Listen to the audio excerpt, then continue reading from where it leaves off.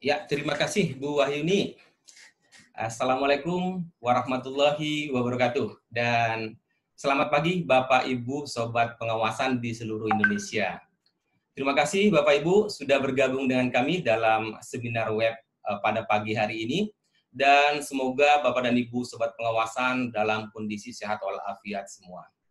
Uh, tema seminar kita pada pagi hari ini adalah Business Continuity Management menjaga kelangsungan pelayanan di tengah pandemi. Tadi sudah disampaikan oleh Bu uh, Wahyuni bahwasanya pada hari ini kita akan kedatangan dua panelis. Maka nanti juga penyajian akan kita bagi menjadi dua subtema. Yang pertama nanti akan disampaikan oleh Ibu Rini Septowati dengan subtema Black Swan dan Business Continuity Management. Dan untuk penyaji kedua nanti akan hadir Bapak Andi Lotohom dengan subtema APIP dan Business Continuity Management, peran dan tantangannya. Oke Bapak Ibu Sobat Pengawasan, sebagaimana tadi kita ketahui bahwa pada masa pandemi COVID-19 seperti sekarang ini, banyak unit-unit kerja pemerintah yang mungkin tidak dapat memberikan pelayanan kepada stakeholdersnya secara optimal. Ini karena ada keterbatasan dan juga adanya pembatasan-pembatasan dalam operasionalisasi kegiatan-kegiatannya. Mungkin ini paling utama disebabkan karena adanya risiko penyebaran eh, COVID itu sendiri. Apabila misalnya dilaksanakan, seluruh kegiatan tadi dilaksanakan seperti yang business as usual, maka kita harus mencari inovasi-inovasi yang bisa menunjang uh, kinerja kita sehingga kita tidak berhenti karena adanya pandemi seperti sekarang ini. Uh, mungkin hal ini juga Bapak Ibu alami di APIP ya ya karena Bapak dan Ibu juga berada di unit kerja mungkin di APIP dan khususnya juga mungkin Bapak Ibu yang uh, berada di APIP yang berada di zona merah penyebaran COVID ya.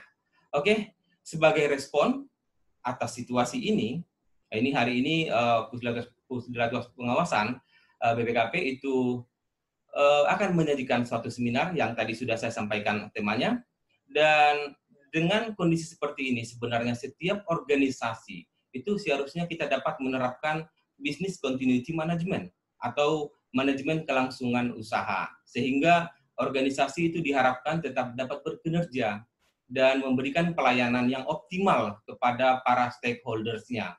Jadi meskipun dalam suasana seperti ini, pandemi COVID seperti ini, dengan tadi keterbatasan, kita tetap memberikan uh, pelayanan yang optimal kepada para stakeholders kita. Uh, untuk lebih jelasnya nanti uh, mengenai bagaimana menjaga kelangsungan pelayanan di tengah pandemi seperti ini, kemudian uh, arti penting business continuity management dan bagaimana peran APIP dalam business continuity management itu sendiri, serta bagaimana keterkaitan antara Black Swan dengan business continuity management akan dikupas nanti secara detail oleh Bu Rini dan Pak Andilo yang sudah bersiap-siap uh, untuk memaparkan presentasinya. Uh, nanti seminar akan kita laksanakan mulai dari pagi sampai menjelang siang hari nanti.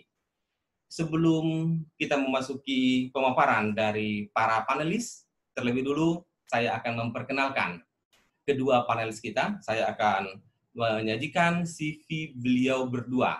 Jadi untuk saya akan sajikan CV Bu Rini terlebih dahulu. Ya, Bapak dan Ibu sekalian. Ya, ini adalah CV dari kurikulum kita dari Bu Rini Septowati. Nama lengkap beliau adalah Rini Septowati, AK MM, CA ERNCP. Beliau adalah seorang widya suara madya di Pusdiklatwas BPKP Ciawi Bogor.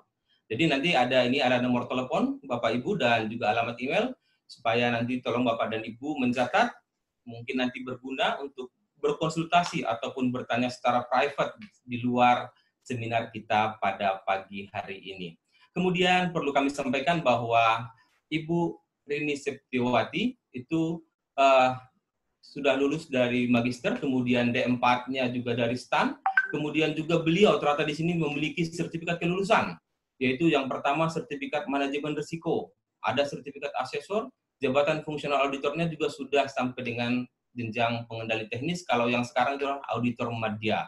Sebenarnya beliau itu adalah peralihan dari auditor menjadi widya suara. dan beliau juga adalah ahli pengadaan.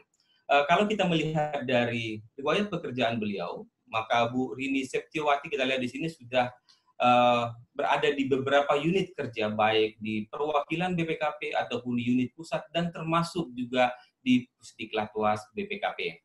Ini adalah sekilas mengenai Bu Rini Septiawati yang bisa kami sampaikan. Ini ada di sebelah kanan kami, itu ada uh, pengalaman tugas uh, beliau uh, yang sangat banyak sekali dan kami yakin ini tidak hanya seperti ini, masih banyak lagi yang pengalaman tugas Bu Rini namun tidak mungkin ditampilkan semua dalam kesempatan ini.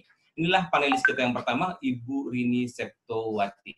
Kemudian untuk panelis kedua adalah Bapak Andilo Tohom, AK, MSI, CCSA, CPMA, CSEP beliau juga menamatkan D3 dan D4-nya dari STAN, kemudian juga sudah menggondol ijazah S2, magister, kemudian sekarang Pak Andi Lotohom juga sedang ongoing, sedang dalam program doktoral di IPB, dan mungkin nanti kalau beberapa waktu ke depan, Bapak dan Ibu atau kita semua bertemu dengan Bapak Andi Lotohom, mungkin beliau sudah ada gelar di depannya, jadi menjadi Dr. Andi Lotohom, AKMSI, CCSA, CPMA, CSEB.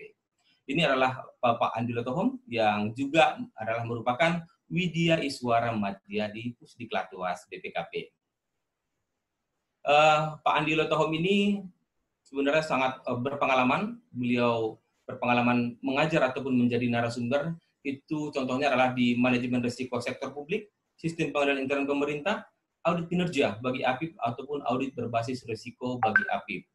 Uh, beliau ini adalah uh, profesional sehingga juga banyak hal yang sudah dilalui oleh beliau. Namun kalau kita melihat dari pengalaman dan uh, profesinya beliau, maka beliau ini sangat kompeten untuk menjadi narasumber kita atau presenter kita pada pagi hari ini. Ya mungkin ini yang bisa saya sampaikan sepintas mengenai uh, kedua panelis kita pada pagi hari ini.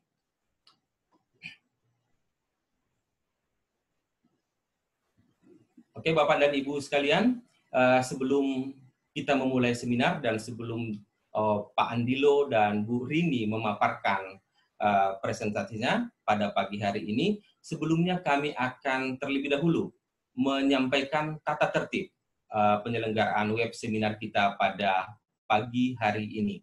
Yang pertama di sini kita lihat bahwa adalah interaksi panelis dan moderator dengan peserta dilakukan menggunakan Zoom webinar. Kemudian pada saat sesi webinar dimulai, peserta hanya dapat melihat dan mendengar panelis, moderator, dan host.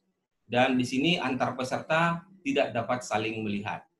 Kemudian yang ketiga, fitur yang dapat digunakan oleh peserta adalah sebagai berikut. Yang pertama, chat. Ini adalah jika peserta ingin menyampaikan pesan, berbicara, ataupun menyampaikan saran dengan panelis, host, ataupun misalnya dengan peserta lainnya. Yang kedua, fitur kedua adalah raise hand. Ini digunakan jika peserta ingin berbicara atau mengajukan pertanyaan secara langsung, namun untuk yang ini atas izin host baru akan kami tampilkan. Untuk yang ketiga, untuk Q&A, jika peserta ingin mengajukan pertanyaan atau pendapat tertulis kepada panelis. Uh, kemudian selain itu nanti peserta juga dapat melihat pertanyaan dari seluruh peserta dan bila peserta ingin diprioritaskan untuk dijawab atau ditanggapi oleh panelis, silakan melakukan upvote. Jadi nanti akan ada notifikasi kami, kami akan mendahulukan atau memprioritaskan Bapak dan Ibu sekalian. Itulah tata tertib uh, webinar kita pada pagi hari ini. Oke, uh, mudah-mudahan Bapak dan Ibu Sobat Pengawasan sudah uh, paham dan mengerti dengan tata tertib webinar tadi. Dan ini juga terutama sih sebenarnya termasuk dalam hal ini adalah menyampaikan pertanyaan. Nanti supaya Bapak dan Ibu uh, silakan menyampaikan pertanyaan melalui Q&A yang sudah tersedia di aplikasi webinar Zoom-nya. Untuk mempersingkat waktu, Mungkin langsung saja kami akan meminta kepada uh, panelis untuk bersiap-siap. Namun untuk yang pertama, kami akan meminta panelis pertama, Ibu Rini Septowati, untuk menyampaikan presentasinya dengan tema Black Swan dan Business Continuity Management. Silakan Ibu Rini.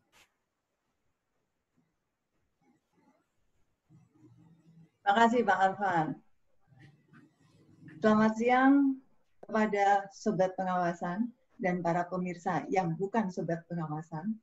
Mungkin di sini ada yang pengawasan, dari pengawasan maupun juga ada juga yang bukan dari pengawasan. Oke, selamat siang, apa kabar? Semoga kita sehat semuanya. Saya akan memulai uh, sharing kita hari ini, yaitu dengan Black Swan. Apa sih Black Swan itu? Kan ya? Dan kemudian nanti kita akan berbicara BMC, Business Continuity Management, BCM, maaf. Dan kemudian kita akan berbicara bagaimana BCM pada penerapan pandemi COVID. Ya. Nah, ketika webinar ini di launching dan sudah mulai mendaftar, ada beberapa orang yang meng-WA saya dan menanyakan, apa sih Black Swan itu? Kan? Tidak hanya satu yang bertanya, tapi beberapa. Maka saya menyimpulkan, wah rupanya Black Swan ini banyak juga yang belum tahu ya. Memang Black Swan ini adalah suatu istilah yang ada pada manajemen risiko. Ya. Jadi untuk memulai atau menjelaskan terkait dengan uh, pandemi COVID dan BCM, saya memang mendekat, pendekatannya dari uh, Black Swan dulu. Oke, saya cerita dulu tentang Black Swan.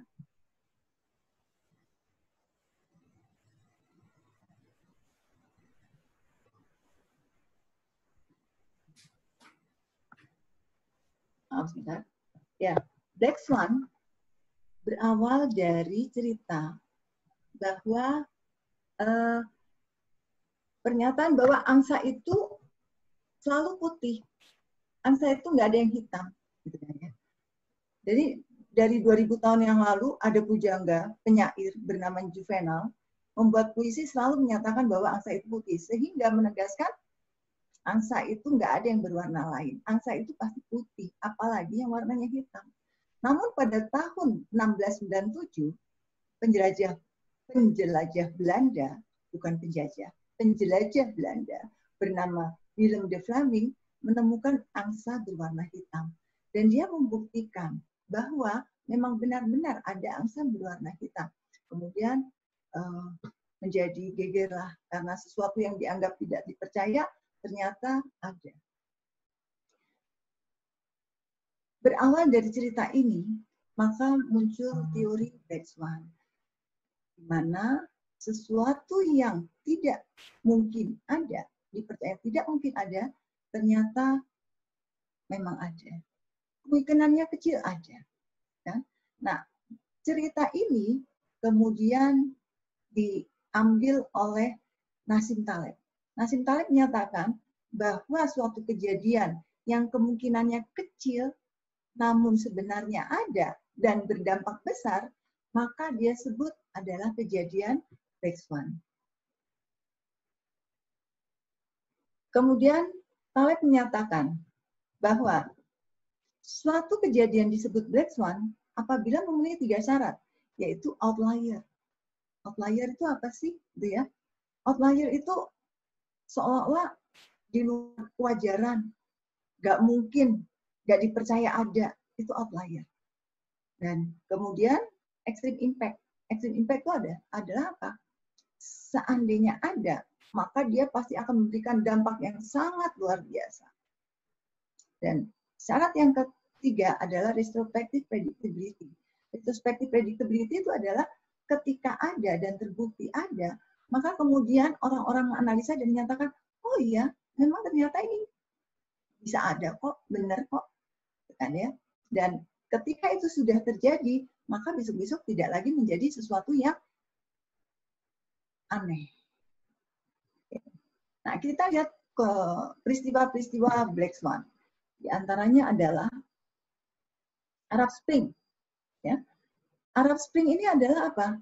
Arab Spring ini berawal dari demo di Tunisia tanggal 14 Januari 2011. Yaitu demo yang menggulingkan pimpinannya dan kemudian berhasil dan kemudian keberhasilan dari penggulingan pimpinan di Tunisia ini kemudian menyebarlah ke Libya, menumbangkan Muammar Gaddafi.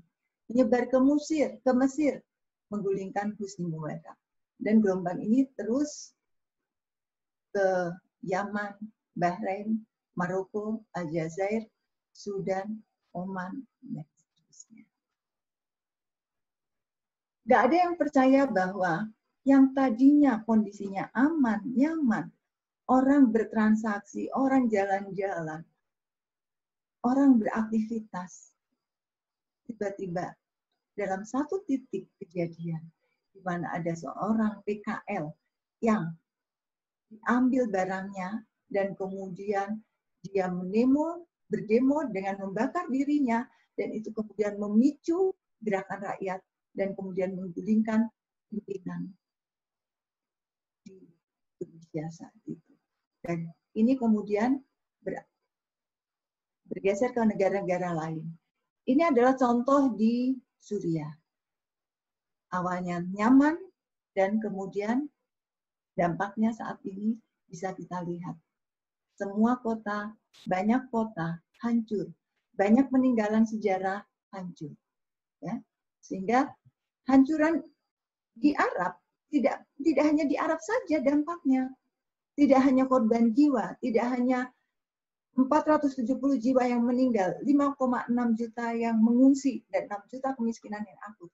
Tidak cuma itu, tapi bergeser. Ternyata kemudian harga minyak meningkat, resesi ekonomi, dampak global, dan lain sebagainya. Oke, kemudian Aceh. Aceh juga begitu. Kejadian Aceh adalah tanggal 26 Desember 2004. Gempa dengan berskala 9,1 skala liter diikuti, diikuti dengan ombak setinggi 30 meter. Kota terhapus oleh ombak yang begitu besar. Masih teringat bagaimana film apa TV-TV menayangkan kota Aceh yang hancur lebur karena tsunami tersebut. Sesuatu yang nggak bisa dipercaya.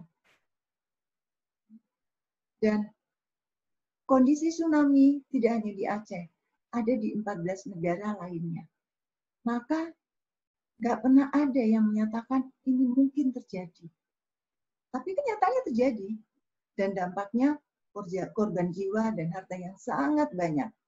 Di Indonesia saja 160 ribu korban jiwa, katanya.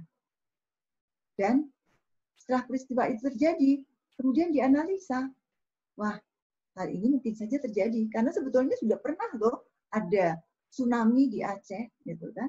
Bahwa bahkan ada satu daerah yang warganya selamat karena ketika tsunami datang, mereka naik ke atas. Karena apa? Karena sudah pernah diceritakan oleh para leluhurnya, dinyanyikan dalam lagu-lagunya. Dan sehingga ketika ada ombak datang, ada ombak surut, dan kemudian gempa, mereka bukan pergi ke laut, mereka pergi ke gunung. Itu adalah salah satu contoh BCP. Apa BCP? Ketika ombak surut, ketika gempa datang, pergilah kamu ke gunung itu adalah pesan planning yang, diter, yang diberikan oleh leluhur kepada rakyatnya, kepada masyarakat yang ada di situ. Dampaknya kurang, beda dengan orang-orang yang di Aceh, di kota. Mereka ketika ombak surut, mereka malah pergi ke pantai mengambil ikan. Dan kemudian tiba-tiba ombak mengguling. Itulah yang menjadikan korban jiwa begitu banyak. Tidak bisa di tidak bisa dibayangkan bahwa itu pernah terjadi ada, itu syarat pertamanya. Syarat keduanya adalah dampaknya yang luar biasa dan syarat ketiga, oh dulu udah pernah kok, gitu ya. Dulu udah pernah dan sudah pernah ada yang melakukan penanggulangannya.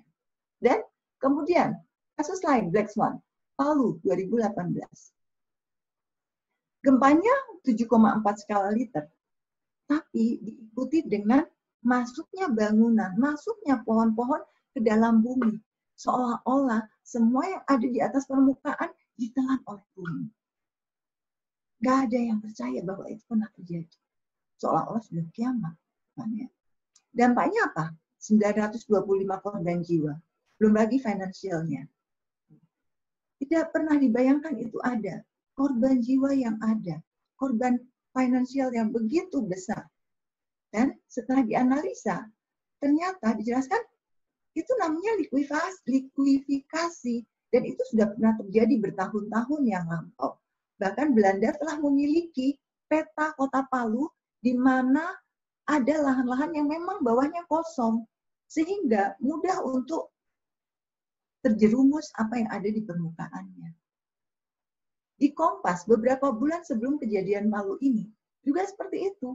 Pernah dijelaskan ada loh di Palu kejadiannya seperti ini. Dan sebagai salah satu cerita pribadi saya adalah ketika waktu itu ada pegawai BPKP menjadi Widya Iswara, namanya Bapak uh, Fah, Fatsudin almarhum, gitu ya, pindah dari Palu ke Puskesmas BPKP. Dia tanya, Pak, kok nggak di Palu aja? Ah, di Palu itu serem. Karena di situ banyak tanah yang kosong. Bisa terjadi kita tenggelam ke dalamnya. Orang Palu tahu. Tapi tidak ada penanggulangan di situ. Gempa dan likuifaksi terjadi, korban menjadi banyak. Menjadi analisanya bahwa itu memang sebetulnya nggak bisa dipungkiri bahwa itu mungkin akan terjadi lagi di masa yang akan datang. Dan harusnya diantisipasi. Oke, kejadian bom Bali juga demikian. Nah, saya akan bercerita sedikit terkait dengan pandemi. Pandemi yang akan menjadi fokus pembicaraan kita. Pandemi atau Black Death, kan ya. Black Death ini udah pernah terjadi loh. Ya. Kapan terjadinya? Oh dulu, tahun 1347 dan 1352 Black Death ini berawal dari apa? Berawal dari hmm. pelaut yang sandar di Laut Hitam. Dan kemudian 12 kapal tersebut ternyata laut-lautnya banyak yang mati. Seandainya yang hidup, mereka sakit keras. Dan ketika sakit keras, mereka menularkan kepada orang lain. Kemudian pemerintah yang ada saat itu menenggelamkan kapalnya. Tapi sudah keburu menular dan penularannya sangat cepat sekali. Dalam lima tahun 20 juta orang yang meninggal karena pes dari kutu tikus. Pandemi berikutnya yaitu flu Spanyol. Flu Spanyol sama tahun 1918. Ini adalah suatu uh, foto dokumentasi terkait dengan bagaimana penanganan pasien flu Spanyol di Kansas. Hampir sama seperti kondisi saat ini. Dan kemudian di Indonesia, di Indonesia ya, di Indonesia juga terkena flu Spanyol dan kejadiannya adalah satu tahun dari tahun 19 19 September sampai dengan eh Juli 1919 dan puncaknya November 19 normal lagi satu tahun berikutnya puncaknya. Oke. Dan ini adalah kegiatan ketika mensosialisasikan bagaimana agar kita tidak tertular flu Spanyol. Tapi tidak bisa dipungkiri bahwa korban jiwa tetap banyak meskipun penanganan-penanganan sosialisasi dan kemudian jaga jarak waktu itu juga ada jaga jarak itu juga dilakukan dan ternyata tim pemimpin yang untuk pemimpin tim untuk penanganan uh, flu Spanyol di Indonesia ini adalah Profesor Dr. Sarjito. Dan uh, dialah yang um, menjadi satgas pada saat itu. Oke, pada saat itu dampaknya tidak hanya jiwa, namun juga pertumbuhan ekonomi yang agak turun, tapi tidak terlalu turun. Karena pada tahun 1918 eh, tingkat perekonomiannya 3 persen, namun pada tahun 1919 6,6 persen. Bandingkan dengan kondisi saat ini yang diungkapkan oleh Menteri Keuangan, Ibu Sri Mulyani. Oke, dan kenapa hari ini bagus? Ya karena waktu itu Pak, panennya bagus. Pandemi yang berikutnya, pandemi saat ini.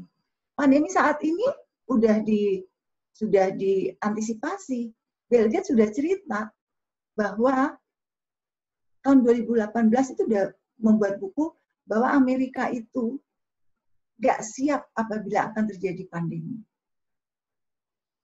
George W. Bush juga menyatakan hal yang sama. November 2005, dia menyatakan, hati-hati loh dengan pandemi. Barack Obama tahun 2014 juga menyatakan, hati-hati loh dengan pandemi. Artinya apa? Artinya itu sudah terfikirkan. Dan korban flu Spanyol itu 20 juta. Sementara korban sekarang sudah sampai kan 20 juta. Maka pertanyaannya, apakah pandemi COVID-19 black swan atau tidak? Oke. Okay. Bapak dan Ibu, dengan melihat syarat, black swan itu adalah outlier. Nggak kepikir. Tapi COVID-19 ini, pandemi ini kepikir loh sebelumnya. Extreme impact tahun 2018, impact-nya lebih tinggi. Tahun 1000 berapa tadi itu, yang black death jauh lebih banyak. Retrospective predictability, ya, itu bisa dijelaskan bahwa itu pernah terjadi dan sudah dianalisa. Oke, pertanyaan saya, apakah dengan tiga syarat ini maka pandemi COVID-19 bisa dinyatakan sebagai black? Oke, Bapak dan Ibu, kita pooling sebentar. Mari silahkan beri pendapat Bapak dan Ibu untuk pooling.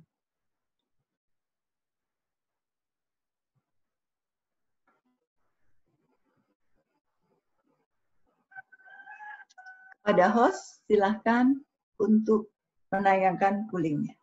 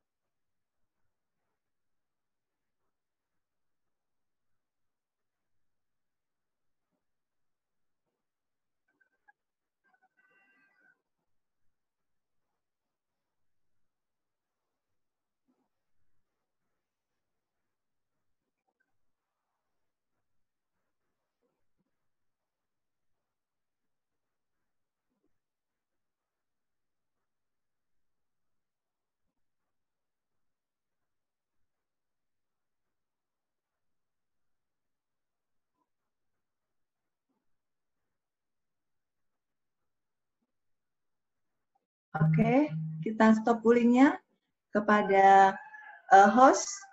Boleh minta tolong host, tolong ditayangkan hasil poolingnya.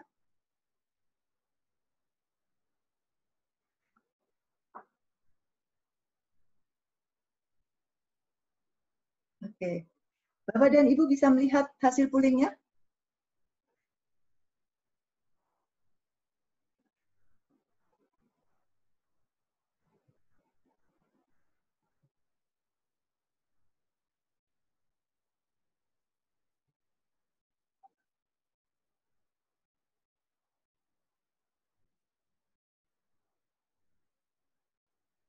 Oke, ternyata ternyata 555 orang menyatakan iya dan 119 orang menyatakan tidak. Oke. Okay.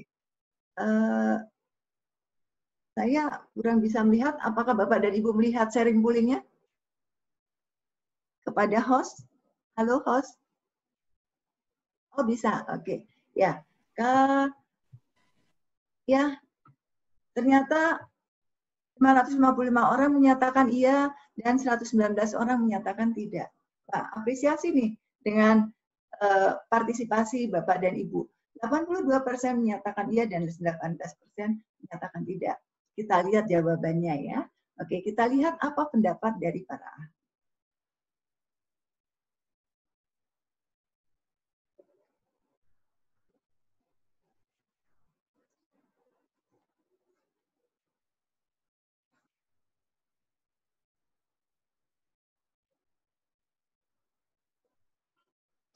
Ya, ternyata ternyata dari para ahli menyatakan dari di tahun 2018 riset tadi menyatakan bahwa membuat asumsi-asumsi kalau pandemi COVID itu terjadinya adalah 100 tahun satu kali.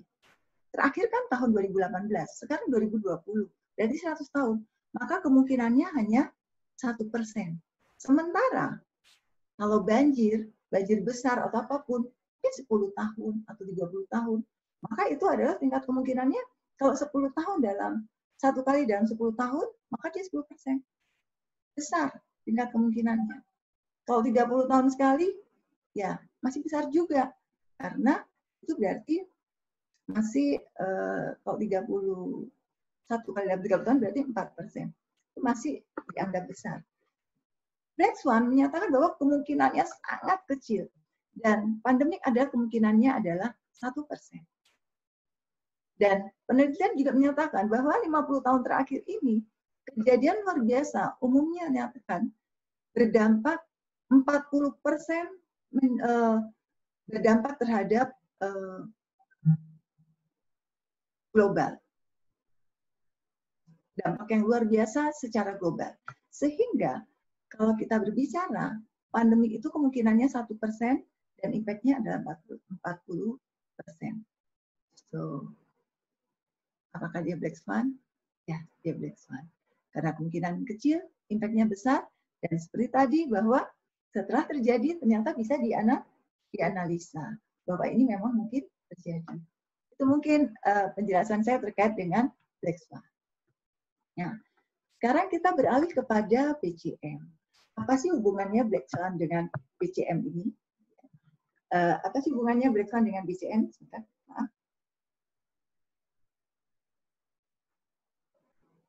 Ya.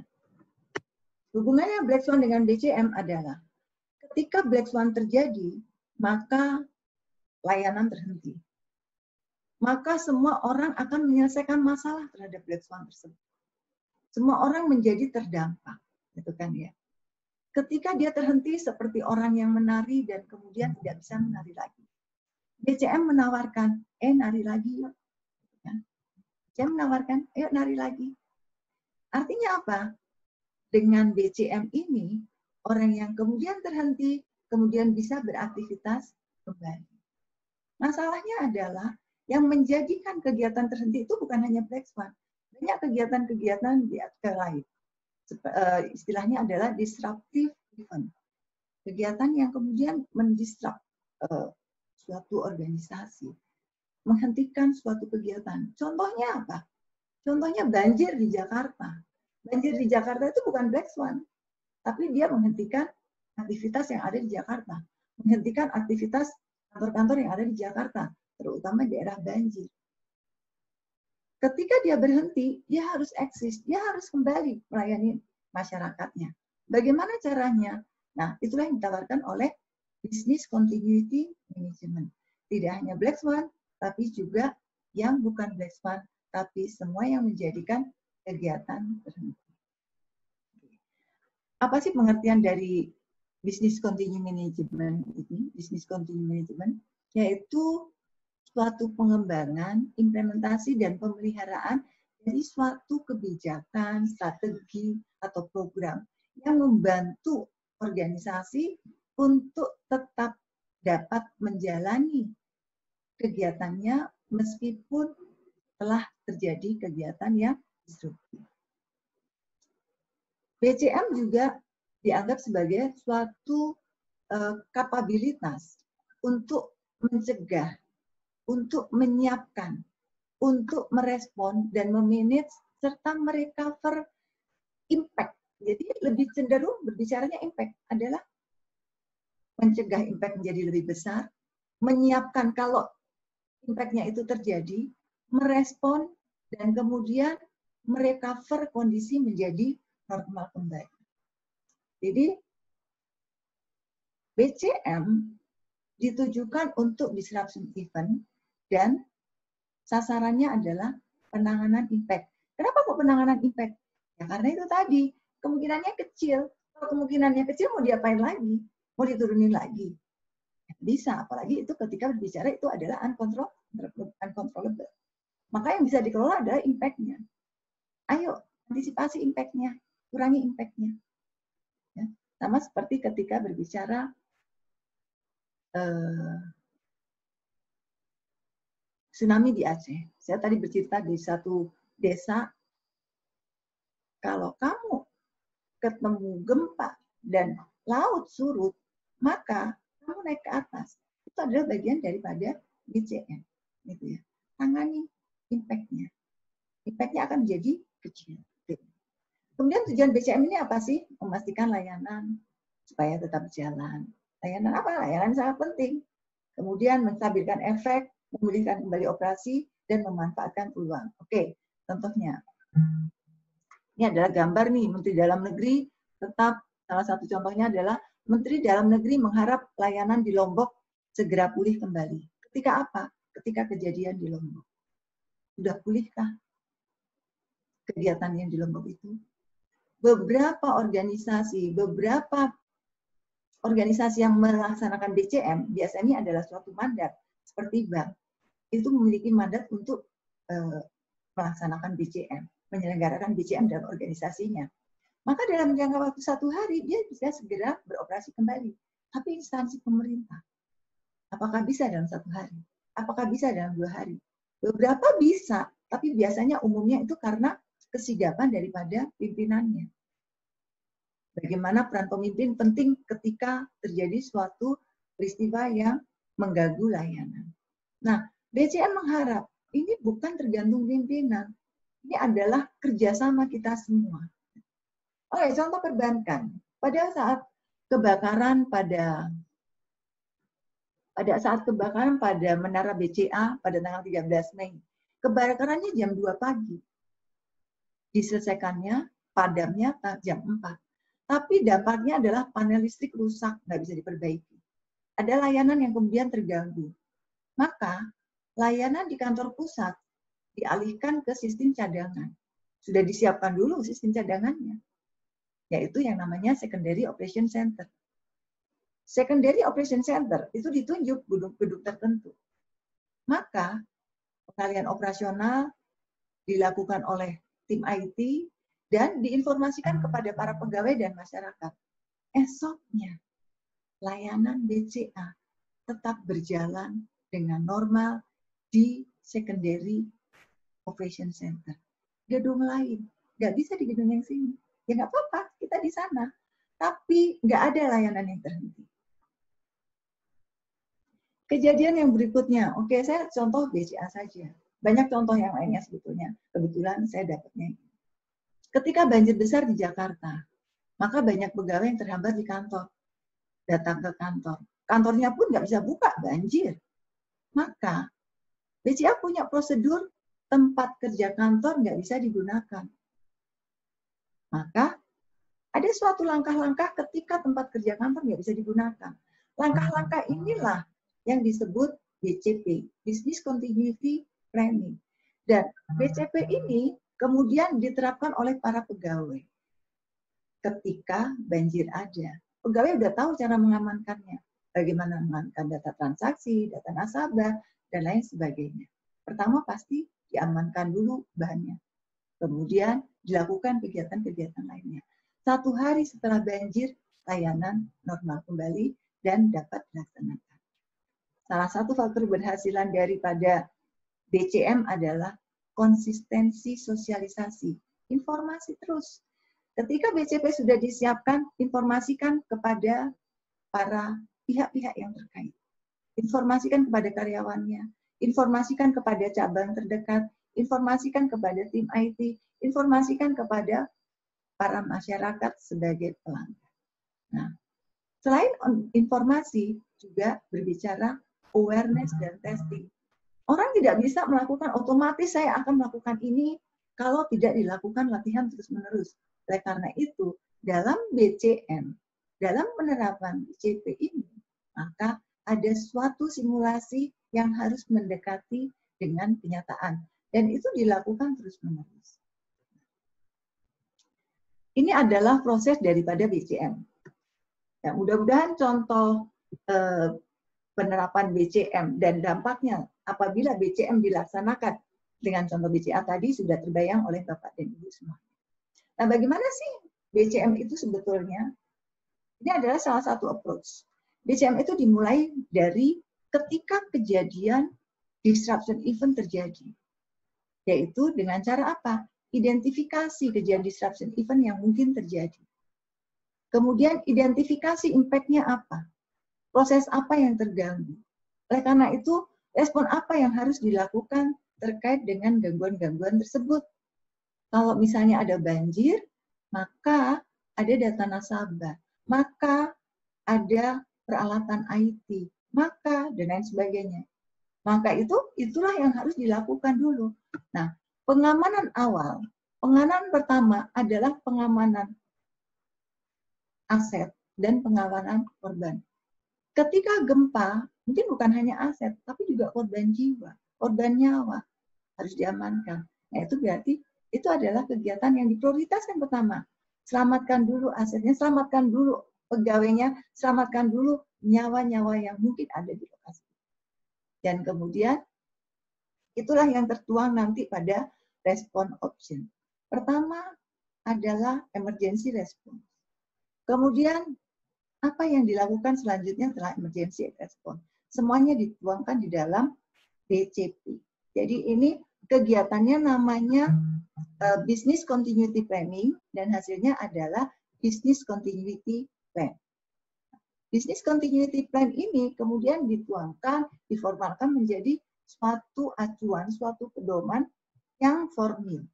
Dan ketika itu sudah ditetapkan, lakukan pelatihan terus-menerus, lakukan simulasi, mendekati kenyataan, dan lain sebagainya, agar ketika disruption event terjadi, maka sudah bisa langsung diterapkan. Ketika gempa terjadi, emergency respon apa yang saya lakukan? Bagaimana mengamankan nyawa? Bagaimana mengamankan aset uh, perusahaan. Dan apa-apa yang penting lagi yang harus diamankan. Dan ketika itu sudah ditetapkan, ketika itu sudah diamankan, maka ada suatu yang namanya krisis manajemen.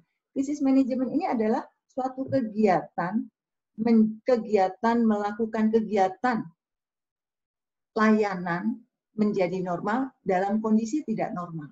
Contohnya tadi, ketika banjir, Eh, gedung masih belum bisa, belum layak digunakan. Tapi layanan harus dilaksanakan.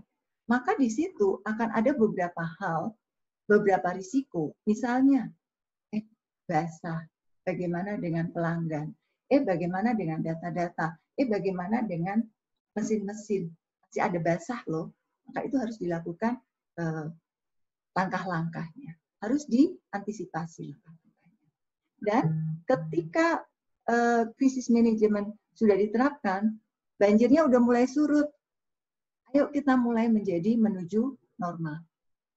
Apakah memang perlu dari banjir ini ada yang perlu direnovasi? Apakah dari banjir ini kemudian ada eh, hal-hal lain yang kemudian harus diperbaiki sehingga bisa normal kembali kondisinya? Tadi kalau contohnya banjir. Kalau contohnya gempa, lebih lebih heboh lagi. Ketika berbicara, eh gempa, wah gedungnya hancur. Apa yang harus dilakukan? Nah itu semua ada di dalam BCP. Itu semua diantisipasi di dalam tahap planning.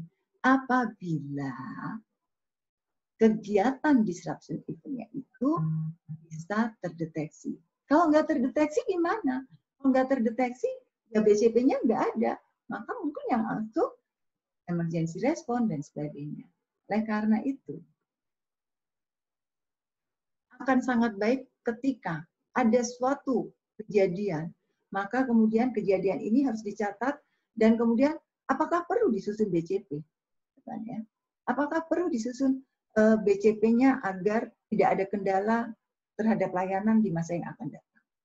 Nah, bagaimana metodologi perencanaan BCM?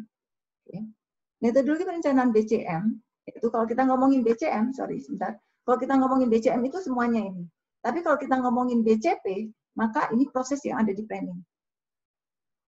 Dalam membuat suatu uh, aturan main yang ada di dalam uh, ketika proses transaksi terjadi.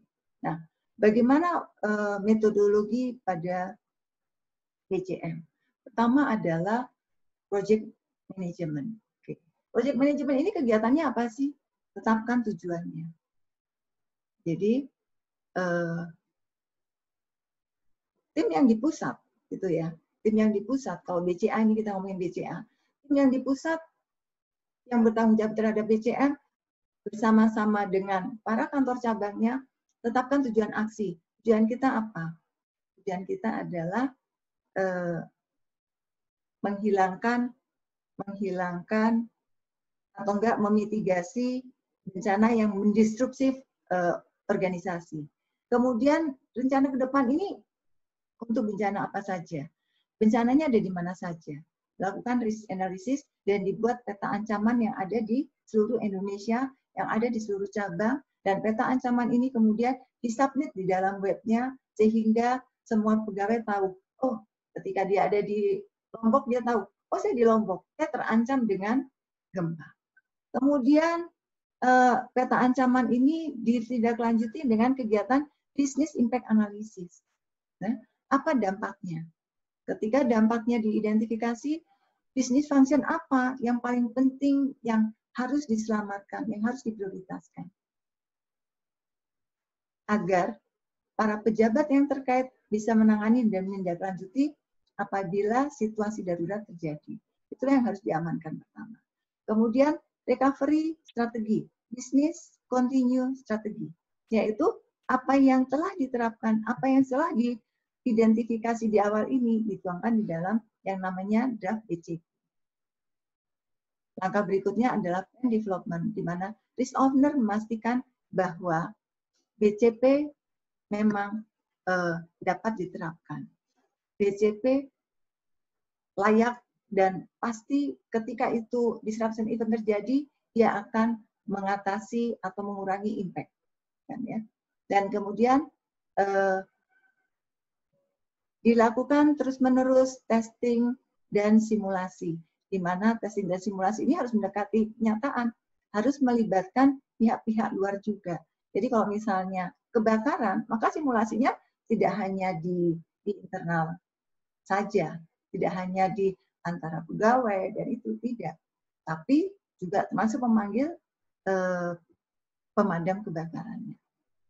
Dan program manajemen melakukan sosialisasi period, sosialisasi secara periodik dan apabila perlu dilakukan revisi. Dari kegiatan yang ada di sini tampak bahwa DCM tidak hanya sekedar eh ada ada kebakaran kita amankan nih gedungnya kita amankan nyawanya tidak tapi berlanjut dengan continuity daripada kegiatan. Bahwa meskipun kebakaran, kegiatan harus berlanjut loh. Gitu. Nah, kegiatan berlanjut inilah istimewanya daripada BCM. Dia tidak hanya berhenti ketika asetnya aman, tidak. Bagaimana membuat keberlangsungan usaha. Lima komponen penting yang ada di dalam BCM. Yang pertama pasti tujuan yang jelas. Ya, tujuan yang jelas. Tujuan kita apa? Mengamankan organisasi, mengamankan uh, aset mengamankan layanan. Prosesnya, identifikasi proses penting, proses-proses apa yang uh, sorry, proses-proses apa yang penting yang harus diamankan. Gagal kita mengidentifikasi proses penting, maka gagal pula kita membuat BCP-nya. Yang ketiga adalah semua orang harus terlibat. Yang keempat adalah teknologi harus mendukung. Dan yang selanjutnya adalah fasilitas manajemen harus bisa dikontrol dan disiapkan. Contohnya tadi adalah ketika kebakaran terjadi, eh pemadam kebakaran harus segera siap. Pertanyaannya, apakah instansi pemerintah memiliki program BCM? Saya yakin kalau program terkait dengan bagaimana ketika kebakaran terjadi, itu ada. Bagaimana menyelamatkan ketika gempa terjadi, itu ada. Tapi bagaimana instansi menyiapkan program agar ketika gempa terjadi, kemudian kegiatan menjadi normal lagi, saya kembalikan kepada Bapak dan Ibu. Adakah di tempat Bapak dan Ibu memiliki program BCM tersebut. Dari pertanyaan tersebut, kita lanjut kepada BCM terkait dengan COVID-19. Dari yang sudah kita bahas tadi, pandemi COVID-19 adalah Black Swan. Beda nggak sih Black Swan dengan penanganan Black Swan dengan penanganan uh, kebakaran dan lain sebagainya. Ya. Karena apa? Karena black swan ini sebetulnya ya karena nggak di nggak diketahui maka dia nggak ada nggak ada uh, eh, BCP-nya umumnya nggak ada BCP-nya karena nggak di nggak diharap nggak disangka gitu kan nggak diharap nggak disangka tapi saya menemukan juga di Australia ternyata ada BCP terkait dengan pandemi influenza. Mungkin Australia belajar dari SARS yang kemarin. Mungkin Australia belajar dari itu. Dan beberapa kali saya melihat di TVRI, gitu ya. Alhamdulillah saya masih menonton TVRI. Di New Zealand cenderung tingkat penyebaran daripada pandemi COVID ini uh, rendah. Dan kemudian pada tanggal 18 Mei kemarin sudah bisa berjalan normal kembali. Bahkan di TV saya melihat orang sudah tidak menggunakan masker, tapi masih tetap menjaga menjaga jarak. Semua kegiatan operasional baik sekolah, kantor, toko, retail dan segalanya itu sudah buka. Mungkin itu adalah salah satu keberhasilan karena sebelumnya Australia memiliki BCP terkait dengan pandemi influenza. Nah, Terkait dengan pandemi, kita lihat lagi. Sorry, ini kok BMC ya? Wah, ini salah nih. Seharusnya BCM ya. Mohon maaf Bapak dan Ibu, BCM. Ya. Terkait dengan BCM pandemi, tujuannya adalah di Indonesia saat ini menghilangkan penyebaran atau mengurangi penyebaran dari COVID. Targetnya adalah menghentikan penularan eh, dan mengendalikan penyebaran COVID di seluruh Indonesia. Targetnya adalah jaga jarak. Nah, ketika ini ditetapkan sebagai satu tujuan, maka semua instansi pemerintah harus membuat suatu kebijakan yang sifatnya harus tetap jaga jarak. Nah, yang terjadi adalah apa? Itu tadi, ada WFH. Jaga jarak, kita nggak saling uh, interaksi. Kemudian yang terjadi lagi adalah apa?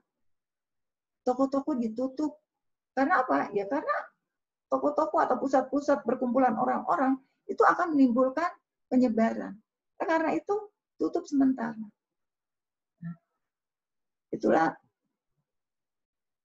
target ini harus dilakukan atau harus di disepakati, uh, harus komitmen semua semuanya mengikuti.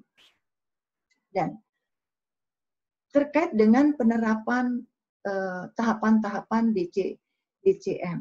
Kita tahu tadi bahwa ada plan, ada respon, emergency respon, krisis manajemen, continuity respon, yaitu untuk keberlangsungan berikutnya, recovery respon untuk kembali menjadi normal.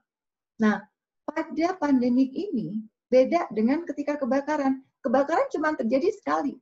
Z. Maka keberlangsungannya kembali kepada recovery, kembali normal. Itu satu satu satu satu gerakan saja, satu kegiatan. Tapi ketika pandemi, eh, disruption-nya bolak-balik loh. Yang tertular itu nggak cuma satu, sekarang tertular, di sana tertular lagi, di sana tertular lagi, di sana tertular lagi, di sini merah, di sana merah lagi, di sana merah. Maka di mana-mana muncul terus, terus, terus, terus. Bahkan kita sampai sekarang masih berharap mudah-mudahan disruption ini, mudah-mudahan yang tertular ini tidak terus-terusan dan menjadi terhenti. Ketika terjadi penularan, apa yang ditangani? Apa respon apa yang harus dilakukan? emergency respon. Nah, terkait dengan emergency respon, WHO ketika menetapkan pertama kali, dia menyatakan, ini loh respon yang harus dilakukan. Semua negara harus mengaktifkan dan meningkatkan mekanisme tanggap darurat. Semua negara, semua pemerintah harus mengkomunikasikan kepada warganya tentang risiko COVID dan meminta untuk melindungi diri. Dan semua negara harus menemukan, mengisolasi, menguji, merawat pasien yang terinfeksi, serta melacak orang yang kontak dengan pasien. Ini kata Dirjen WHO ketika dia menetapkan pandemi. Mau nggak mau, negara kita juga harus ikut. Maka, tanpa disuruh pun sebetulnya negara kita juga sudah ikut ya. Maka, apa yang dilakukan oleh pemerintah? Pemerintah pertama membuat satgas untuk penanggulangan COVID. Berdasarkan satgas tersebut diberikan masukan-masukan. Satgas selalu melakukan sosialisasi. Kemudian dibuatlah wisma atlet. Kemudian ada Menteri BUMN memerintahkan pabrik untuk membuat masker karena waktu itu maskernya nggak ada. Buat vitamin untuk meningkatkan stamina. Bikin Bu Rini, waktu APD. lagi Bu. Ya. 5 menit lagi. Bu. Oke, siap. Saya percepat dan kemudian ada impor rapid test dan lain sebagainya. Itu semua adalah eh, kebijakan-kebijakan yang dibuat oleh pemerintah dalam rangka menangani eh, respon yang cepat terkait dengan penanganan COVID. Belum lagi bahwa semua pemerintah, semua organisasi harus menjalankan eh, rencana tanggap daruratnya. Ada beberapa ISO dan SNI, Standar Nasional Indonesia, terkait dengan bencana. Dan kemudian instansi-instansi pemerintah harus siaga dengan ERP-nya, Emergency Response uh, Plan-nya, di mana sudah ada uh, asosiasi asosiasi profesi MR sudah membuat ERP terkait bagaimana apabila paparan uh, ketika di kantor, apabila ada personel yang nggak bisa beraktivitas dan kegiatan darurat lainnya. Kalau personel nggak nggak bisa beraktivitas karena terpapar, maka yang terjadi adalah apa? Organisasi harus menangani pasiennya, harus menangani, harus ikut tanggung jawab dengan pegawainya, dan harus menggantikan apabila pegawai tersebut tidak bisa melakukan kegiatannya, padahal kegiatan tersebut penting dalam rangka melanjutkan usahanya. Oke. Dan selanjutnya, tahap berikutnya adalah krisis manajemen. Pada tahap krisis manajemen, pemerintah menyatakan ada PSBB. Kita harus jaga jarak. Maka perekonomian akan turun. Maka pemerintah ketika perekonomian turun, so swasta terhenti juga kegiatannya. Yang tadinya jualan nggak jualan, yang tadinya bisa melayani dan kemudian menghasilkan pendapatan, ternyata nggak bisa.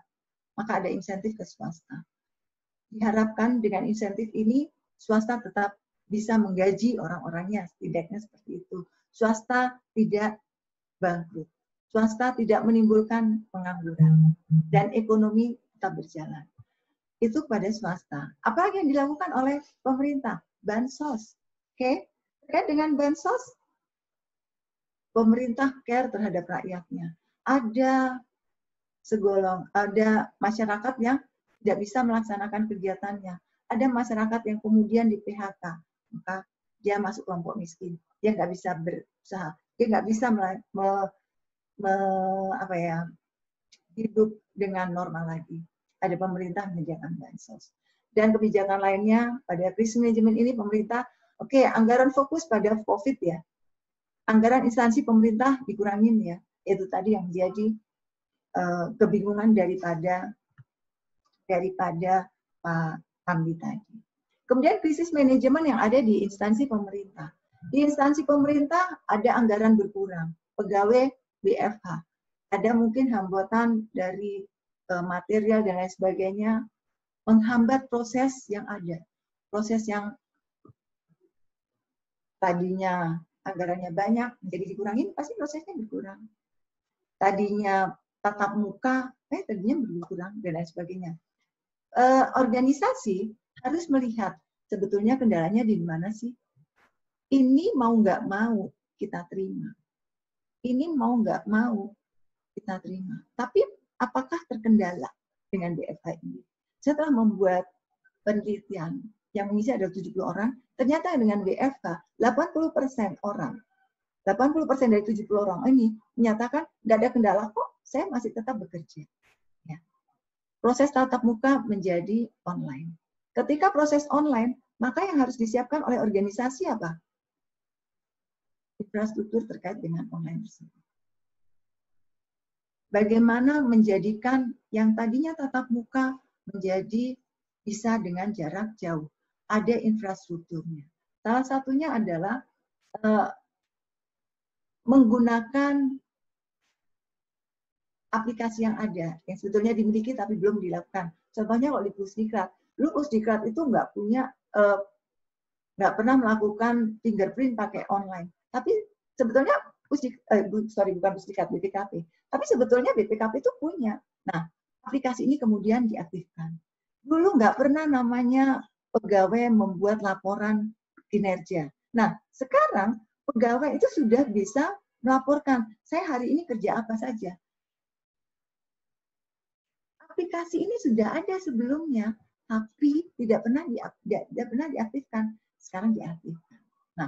Dalam kondisi tidak normal ini, bagaimana dengan outputnya? Bagaimana dengan kinerja organisasi? Belum lagi aturan perundang-undangan. Contohnya adalah Pusdiklat anggarannya berkurang. Nggak bisa dong melakukan kegiatan diklat dengan normal, pegawainya WFH. Bagaimana melakukan yang tatap muka menjadi online? Tapi, oke okay, kalau gitu, kata Bu Seli sebagai kapus diklat, kita prioritaskan yang ini, kita tunda yang ini. Tapi dalam kondisi berjalannya waktu, yang ditunda pun juga harus tetap dilakukan juga. Maka eh, tawar-tawarin dong kepada para instansi, pada APIP. APIP, kamu mau nggak? Ini kita punya nih, tapi jarak jauh. APIP bilang, aduh, anggaran kita kurang, diskon dong, kata Pusdiklat. Nggak bisa diskon, ini PP, PP PNBP. Akhirnya yang terjadi adalah apa? Gara-gara PP PNBP, kita tidak bisa menyelenggarakan diklat. APIP yang tadinya juga ingin diklat, ingin meningkatkan kompetensinya, nggak bisa juga. Dua-duanya berhenti, dua-duanya nggak bisa jalan. Harusnya apa yang terjadi ketika itu? Harusnya ada suatu kolaborasi. Kejadian tidak bisa menyelenggarakan kegiatannya karena keterlambatan aturan perundangan, contohnya PNBP di Pusdiklat, mungkin tidak hanya Pusdiklat BPKP saja, tapi juga Pusdiklat-Pusdiklat lain. Bisa dong para para para pusdikat-pusdikat lain ini ngomong ke Dirjen PNBP, Dirjen PNBP, saya nggak bisa menyelenggarakan, saya nggak bisa berkinerja, ada hambatan bla bla bla. Ayo kita ubah PP PNBP-nya dengan segera. Kecepatan bergerak adalah kunci daripada continuity management, keberlangsungan usaha. Oke, selanjutnya kita lihat tidak hanya di Pusdiklat, ada di semua instansi pemerintah apa yang harus diantisipasi? Pilkada berisiko memperkerat pandemi. Pilkada berjalan nggak? Berjalan, harus berjalan. Tapi ada pandemi. Kalau gitu nggak jalan, nggak jadi. Pilihannya pilkada berisiko pandemi atau tidak dilakukan pilkada. Seharusnya ada suatu strategi bagaimana pilkada tetap berjalan tanpa memperparah pandemi. Begitu juga ini adalah salah satu strategi ketika eh, pengadilan melalui tidak melalui tatap muka. Ya, ini strategi ini. Ini adalah keberlangsungan usaha. tetap berjalan aktivitasnya, tetap tercapai tujuannya, tapi tidak memperparah pandemi. Kegiatan bantuan tunai. Oke, kita lihat kegiatan bantuan tunai. Apa yang terjadi? Bantuan tunai didirikan secara secara fisik. Ketika secara fisik orang ngumpul, berparah pandemi. Gara-gara bantuan tunai, ada masyarakat yang tertular. Hal itu nggak boleh ketika terjadi, eh, nggak boleh terjadi pada manajemen krisis ini, pada manajemen krisis. Manajemen krisis harus tetap mempertahankan, eh kita jaga jarak, kita nggak boleh menularkan. Kegiatan lain lagi, yaitu kebijakan lain yang ada di uh, saat ini, ketika sudah mulai menuju normal gugus percepatan penanganan COVID membuat SE tahun 2020, tanggal berapa itu baru kemarin tuh, memperbolehkan pengoperasian transportasi. Tapi untuk yang penting-penting saja ya, untuk kategori tertentu, untuk yang logistik, untuk yang rumah sakit, membawa pasien, untuk apa, dan lain sebagainya. Untuk hal yang sangat penting. Tapi yang terjadi adalah apa? orang masih berjalan. Orang masih, oh, transportasi terhenti, kemudian transportasi berjalan, orang buru-buru, meskipun ada larangan mudik. Oh, mumpung boleh, mumpung boleh, saya pulang dulu. Ini mumpung boleh transportasinya dibuka. Yang terjadi adalah apa? Kembali lagi, sasaran menghindari kontak menjadi gagal. Kemudian lagi yang, kurang koordinasi. Ketika Transmoda dibuka, airline mensyaratkan, oke okay, saya buka, hore, saya bisa berjualan lagi. Tapi dengan syarat protokol PSBB. Ya, airline mensyaratkan surat bebas COVID, surat sehat. Tapi ID bilang, kami tidak akan menjamin pasien dengan surat bebas COVID. Karena apa? Karena proses bebas COVID itu enggak dengan satu kali tes. Dengan rapid test aja nggak bisa. Rapid test itu tidak akurat. Maka dia bilang, saya nggak ngeluarin bebas COVID, saya ngeluarin surat sehat. Tapi surat sehat ini tidak menjamin dia bebas COVID. Tujuan tercapai? Bu Rini, agar ya, oke, okay. sedikit lagi Pak Arfan. Ya, sedikit lagi Pak Arfan. Sedikit lagi. Oke. Okay. Oke, ini kegiatan ketika kurang diantisipasi dan ini kemudian kita lihat banyak masalah terkait dengan krisis manajemen yang harusnya diselesaikan oleh organisasi atau instansi pemerintah di mana kegiatan krisis manajemennya ternyata tidak menghasilkan capaian tujuan yang efektif. Cenderanya adalah apa? Dengan krisis manajemen, dengan BCM, harusnya ada dari silo menuju kolaborasi. Nggak bisa orang bekerja sendiri-sendiri. Nggak bisa organisasi itu sendiri-sendiri. Di BKP nggak bisa sendiri.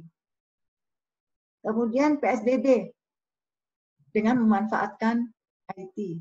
Audit nggak bisa lagi jarak dekat, harus dengan EDP audit. EDP dengan jarak jauh, bukan EDP audit sih namanya ya, memanfaatkan EDP audit juga. Oke, kemudian uh, bukan EDP audit. Uh, minggu lalu, minggu lalu ada disebutkan itu. Dan kemudian uh, efektivitas daripada krisis manajemen, efektivitas dari BMC ini itu juga sangat tergantung dengan peningkatan pengendalian. Ketika suatu strategi ditetapkan, ketika PSBB ditetapkan, dua-duanya harus berjalan dan dua-duanya harus kendalikan agar tetap bisa berjalan. Langkah berikutnya adalah recovery respon. Recovery respon ini pemerintah sudah menjelaskan di fase 1, fase 2, fase 3, fase 4, fase seterusnya. Ketika fase-fase ini diterapkan, ketika fase-fase ini ditetapkan, hati-hati. Di sini peran daripada audit karena apa? Banyak orang yang meragukan, sudahkah waktunya kita berdamai dengan COVID? Salah satunya adalah PNH PNS berakhir tanggal 29 Juli. Maka berduyun-duyun semua PNS akan pergi ke kantor. Maka kemungkinan kejadian bermacet ria, kemungkinan kejadian tidak jaga jarak, kemungkinan kejadian tertular menjadi meningkat kembali. Peran siapa untuk menjaga peran daripada internal auditor. Oke, pada tahap yang ketiga, yaitu untuk menjadi normal, pertanyaannya adalah, apakah kita masih tetap mau lembur di kantor? Atau kita masih akan berarah menjadi FPFH? Apakah kita tetap mau menjadi silo? Dia sendiri. Enggak. Ternyata dengan BFH, ternyata kita perlu kolaborasi untuk mencapai tujuan. Ingat, anggaran kita dipotong loh. Kita nggak bisa kerja seperti kemarin. Kemudian pelajaran ketiga, apakah kita perlu infrastruktur? Kalau ternyata WFH, kalau ternyata kegiatan bisa dilakukan jarak jauh, apakah perlu kita bangun gedung? Apakah bukan perlu kita membangun orang-orangnya? Apakah bukan perlu kita membangun infrastruktur terhadap IT? Dan kemudian sudah mulai bergerak organisasi, instansi pemerintah dari manual menjadi digitalisasi. Oke, sehingga dengan tiga elemen BNC, krisis manajemen dan komunikasi, business recovery planning, dan IT disaster recovery, maka kita bisa menarik kembali. Dari menari, berhenti, dan kemudian menarik kembali. Mungkin itu saja Pak Arfan, mohon maaf melewati waktunya. Uh, Mudah-mudahan apa yang saya sharing pagi ini bisa dimengerti dan bermanfaat bagi Bapak dan Ibu semua. Saya kembalikan pada moderator, Pak Arfan.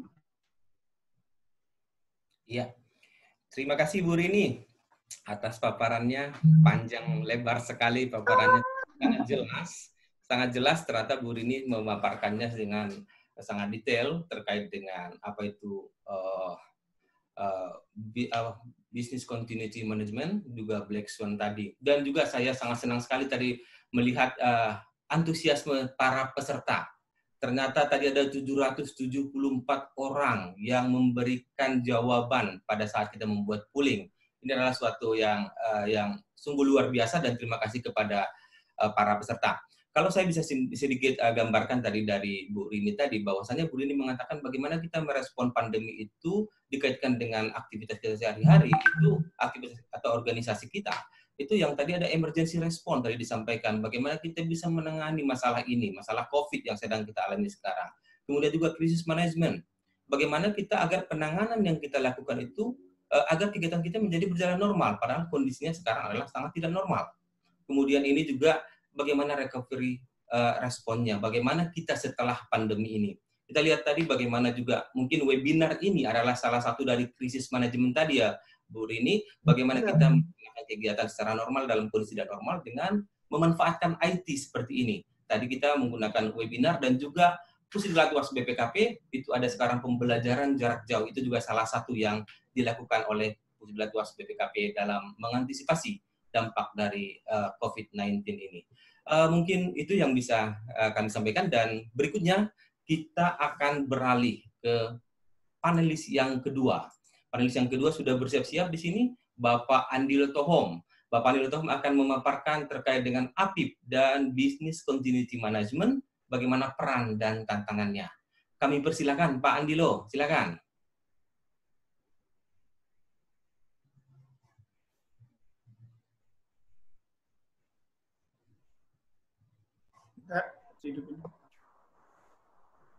Ya, terima kasih Pak Arfan. Ya. Selamat siang, sobat-sobat pengawasan. Saya akan melanjutkan materi yang sudah disajikan oleh Bu Rini secara luar biasa tadi, Black Swan, Risk Management, dan BCM. Berikutnya kita akan diskusikan apa peran kita terkait dengan Business Continuity Management. Yang menariknya ternyata uh, secara uh, pedoman IAE itu sudah menerbitkan pedoman terkait dengan peran kita ini sejak tahun 2014. Hanya saja mungkin kita tidak aware seperti biasa karena kita sudah terbiasa menjadi seorang atau kebiasaan kita atau paradigma kita lebih kepada pos seperti tadi yang dijelaskan Pak Pak Amdi gitu. Kalau paradigma trusted advisor itu kan harusnya sudah meninggalkan masa lalu, tapi karena kebiasaan kita memang bicaranya kemudian masa lalu, the future itu suka kita abai, sehingga kita tidak gitu concern dengan adanya sebuah uh, kewajiban kita sebetulnya untuk uh, terlibat uh, di dalam bisnis management ini. Uh, agenda kita tiga singkat saja. Saya berharap uh, saya bisa lebih cepat dari 30 menit supaya kita lebih banyak uh, berdiskusi karena saya lihat uh, pertanyaan di Q&A juga sudah banyak dan ini terkait dengan banyakkan agenda yang peran APIP juga. Uh, saya mulai dengan peran APIP dalam MR karena tadi Bu Rini sudah jelas mengaitkan dari Black Swan teorinya itu mendasari MR dan BCM itu adalah core elemen dari MR karena dia menggunakan pendekatan MR dalam membangun atau mengembangkan business continuity management. Baru secara spesifik kita akan bicara peran kita di dalam BCM dan ada juga yang terkait dengan bagaimana kita bisa uh, menilai maturitas dari uh, eh, BCM yang ada di auditi yang kita awasi. Baik, uh, banyak paragraf di standar IP kita yang terkait dengan ini. Yang salah satunya adalah uh, sifat dari ruang lingkup kita. Kita tahu bahwa tugas kita itu terkait dengan tata kelola, manajemen risiko, dan pengendalian internal. Secara spesifik terkait dengan uh, manajemen risiko, tugas kita dalam fungsi assurance adalah kita mengevaluasi efektivitas MR dan memberikan rekomendasi perbaikan dengan melihat keempat hal ini, bahwa tujuan auditi sudah selaras dengan visi misi, lalu atas seluruh tujuan itu, seluruh resiko yang signifikan telah diidentifikasi. Nah, dalam konteks eh, BCM, resiko yang signifikan ini adalah konteksnya keberlangsungan bisnis layanan. Peristiwa-peristiwa disruptif yang tadi Ibu Rini ceritakan, itulah peristiwa yang mungkin terjadi yang berdampak pada keberlangsungan bisnis. Eh, Bapak Ibu mungkin di tempat Bapak Ibu yang sudah punya uh, peraturan kebijakan mengenai penerapan MR, eh, Bapak Ibu kan tahu bahwa dalam penetapan konteks itu harus ditetapkan skala dampak. Nah, biasanya ada banyak kementerian lembaga yang salah satu area dampak yang dipilih adalah tertundanya operasi atau layanan. Kalau tertunda operasi layanan satu hari, dua hari, itu skalanya satu misalnya, skala dua, kalau satu minggu misalnya, sampai dengan skala lima itu kalau bulanan. Nah, konteksnya itu.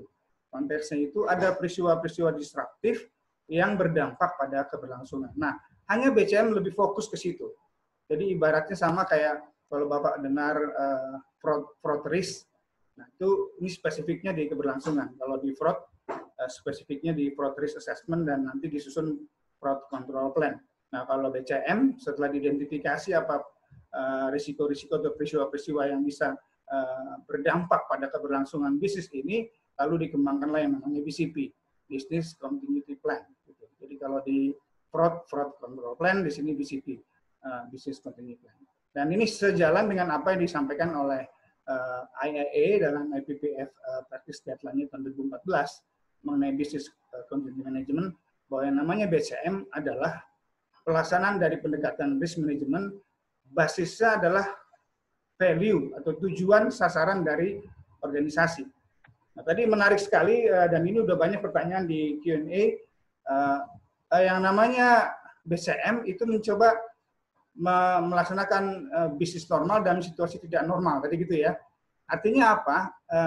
Tujuan sasaran itu sesuai dengan yang sudah ditetapkan, predetermined. Kalau saya suka memberikan contoh yang di Pusdiklat. Pusdiklat ini terkait dengan pandemi ini, hanya sedikit terjadi perubahan target, terutama di target uh, jumlah diklat di jumlah diklat di kategori yang PNBP. Seperti Bu ini tadi cerita ya, sehingga kita cari cara bagaimana ini supaya kita bisa capai.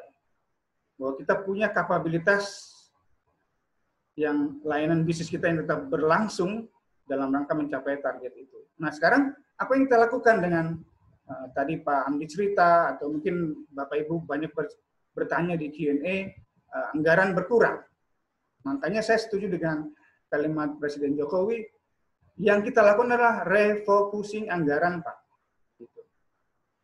Fokus dari yang kalau dari BCP kita katakan seperti Pusdiklat tadi berubah dari uh, pembelajaran tatap muka menjadi pembelajaran jarak jauh, maka dampak dari BCP itu seperti di teorinya itu di teori pada saat menyusun BCP itu mungkin berdampak pada prioritas investasi. Yang tadinya prioritas pengeluarannya bukan di investasi, menjadi ke investasi. kita tahu memang investasi biayanya tinggi di awal. Nah, ketika semua biaya-biaya lain diarahkan ke sana, maka habis itu proses bisnis berjalan normal, maka kita bisa uh, berkelanjutan, continue, mencapai tujuan yang sudah diinginkan. Nah, konteks inilah yang akan dinilai oleh kita dalam pengawasan. Apakah respon-respon itu sudah tepat yang dipilih, dan informasi risiko yang relevan itu sudah dipetakan dan dikomunikasikan tepat waktu.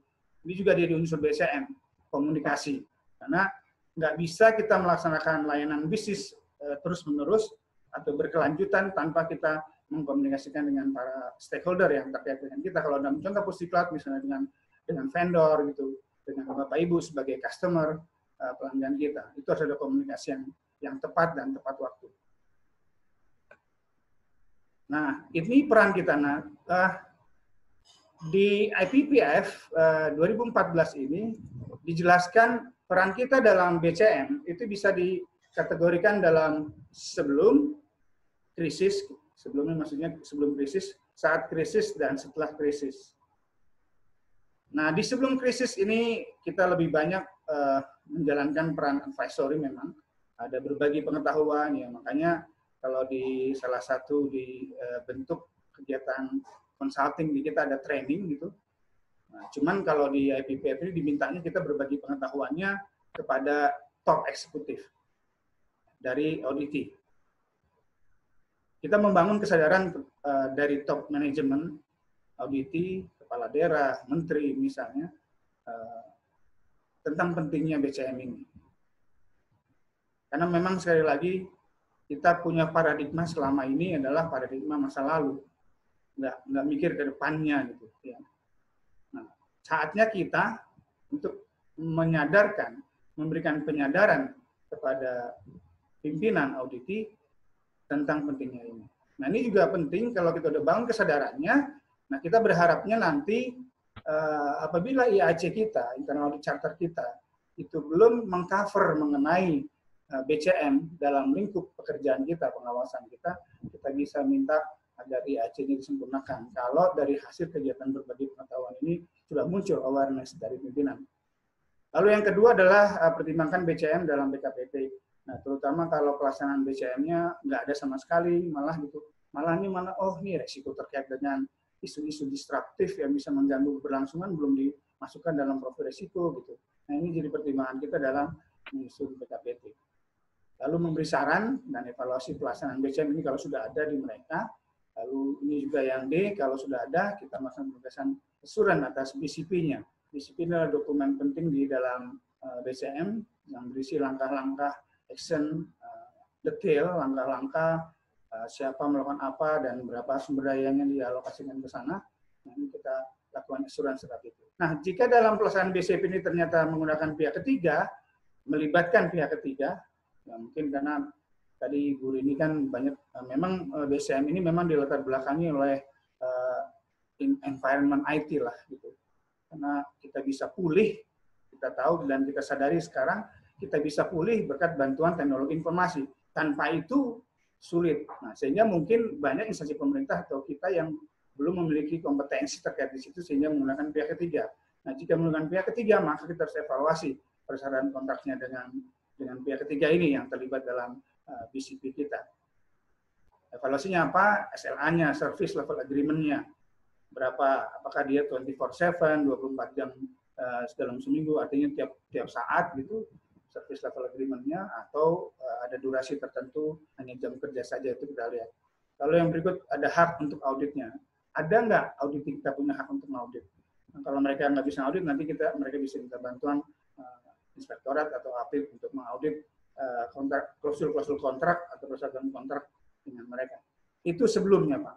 Jadi artinya kita uh, melaksanakan tugas advisory dan assurance untuk make sure bahwa BCM itu bisa dibangun dan itu akan efektif nantinya. Nah, pada saat uh, kalau bahasa tadi Bu ini saat krisis terjadi, apa yang kita lakukan sebagai APIP?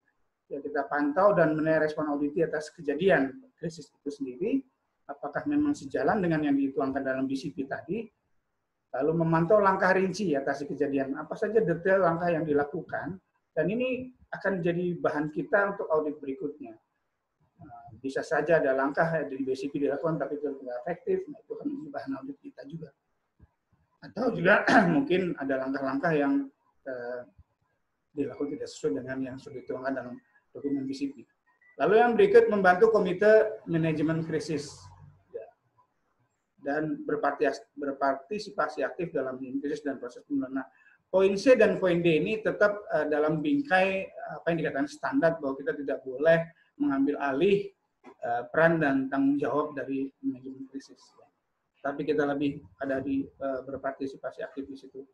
Uh, mungkin saya boleh kasih contoh kalau uh, kemarin ada webinar IP, di situ ada salah satu narasumbernya Pak Michael, Inspektor Inspektorat Provinsi DKI, itu pada berbagai kesempatan dia suka uh, menampilkan di WA bagaimana partisipasi aktif dalam oleh inspektorat dalam uh, proses penanganan uh, COVID-19 ini. Nah, itu saat krisis terjadi. Lalu setelah krisis terjadi, kita bisa melakukan tugas-tugas ini, mengevaluasi efektivitas upaya pemulihan, review pasca krisis untuk intinya adalah improvement dari uh, eh, BCM itu sendiri. Lalu kita evaluasi uh, apakah pelaksanaan root cause analysis uh, itu memang dilakukan sudah tepat sehingga kalau belum tepat, ini bisa kita jadikan dasar untuk uh, bisnis quality management kita. Dan yang berikutnya ya sebagaimana yang karena BCM adalah uh, juga menggunakan pendekatan MR, maka kita terus menilai risiko, lalu menyediakan bantuan-bantuan berupa panduan kepada mereka dan membantu upaya perbaikan proses bisnis. Itu yang disajikan oleh uh, IAEA di praktis kiatnya di Agustus 2014 terkait dengan peran kita terkait uh, eh, BCM.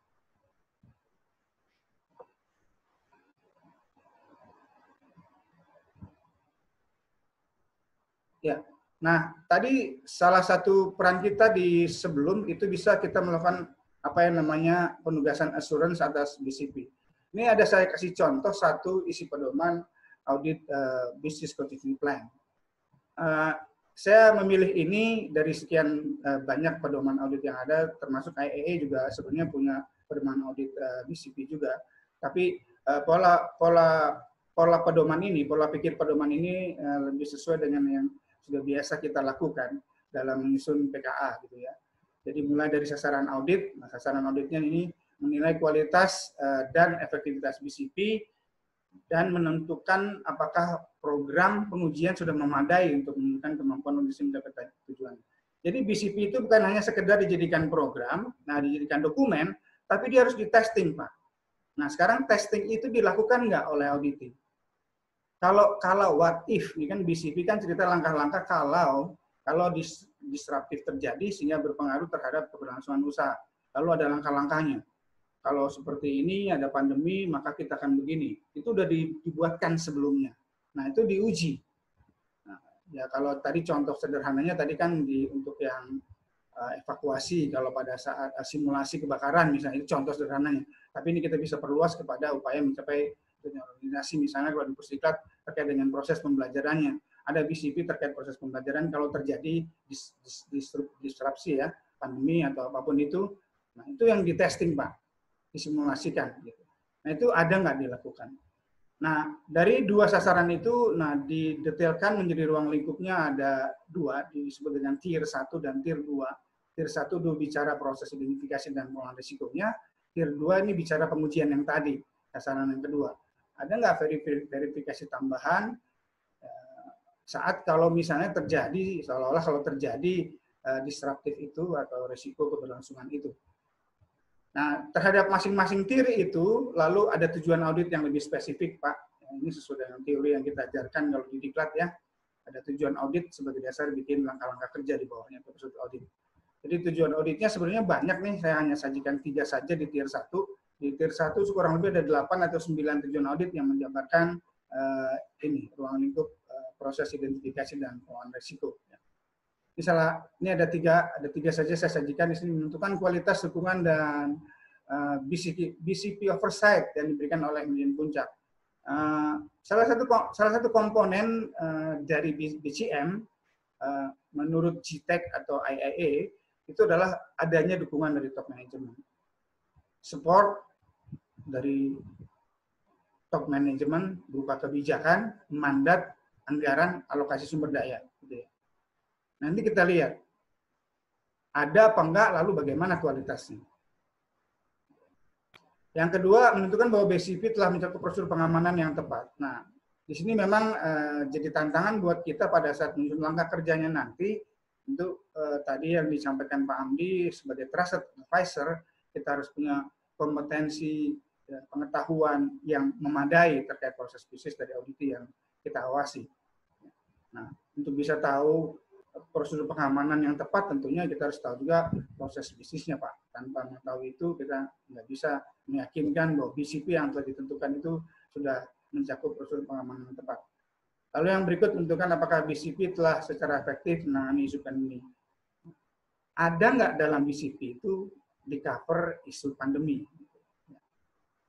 Jangan cuma BCP-nya cuma misalnya bencana alam, banjir, kebakaran, jangan cuma itu. Tapi ada juga isu-isu pandemi karena jenis-jenis disruptive uh, uh, isu atau item itu coverage-nya banyak sekali gitu. Dan ini yang paling penting juga secara spesifik dijadikan tujuan audit. Apakah BCP itu telah menangani isu pandemi.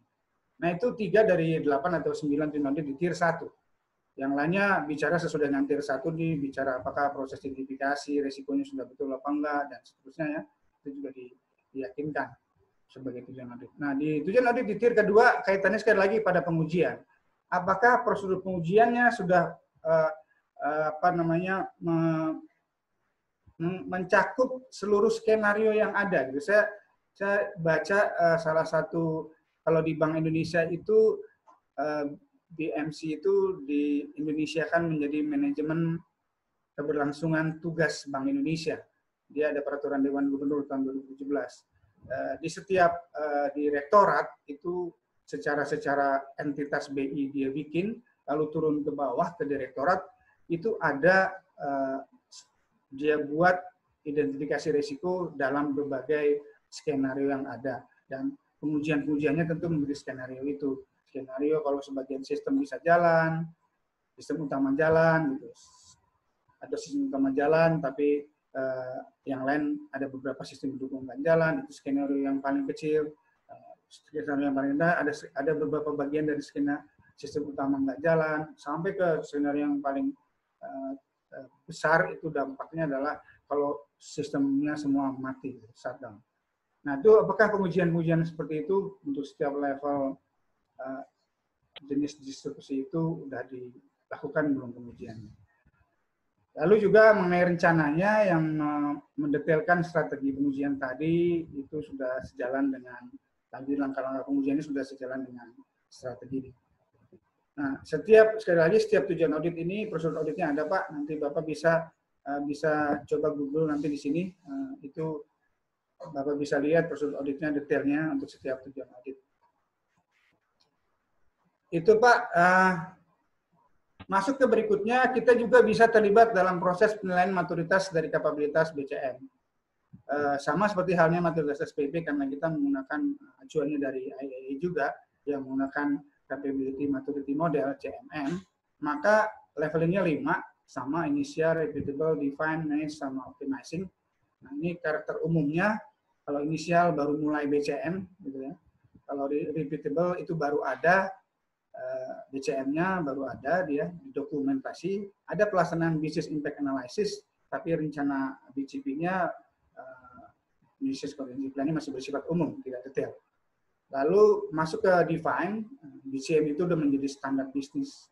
Siapa pun direktorat unit kerja yang ada di lingkungan kementerian lembaga, pemerintah daerah, itu menjadi suatu kewajiban. Dan ini tercermin dari sudah ada aturannya di repeatable sebenarnya sudah ada aturannya ditetapkan oleh oleh uh, pimpinan top manajemen ini sudah menjadi standar bisnis. Artinya sama kayak matriks SPP dia menjadi keseharian pak. Keseharian.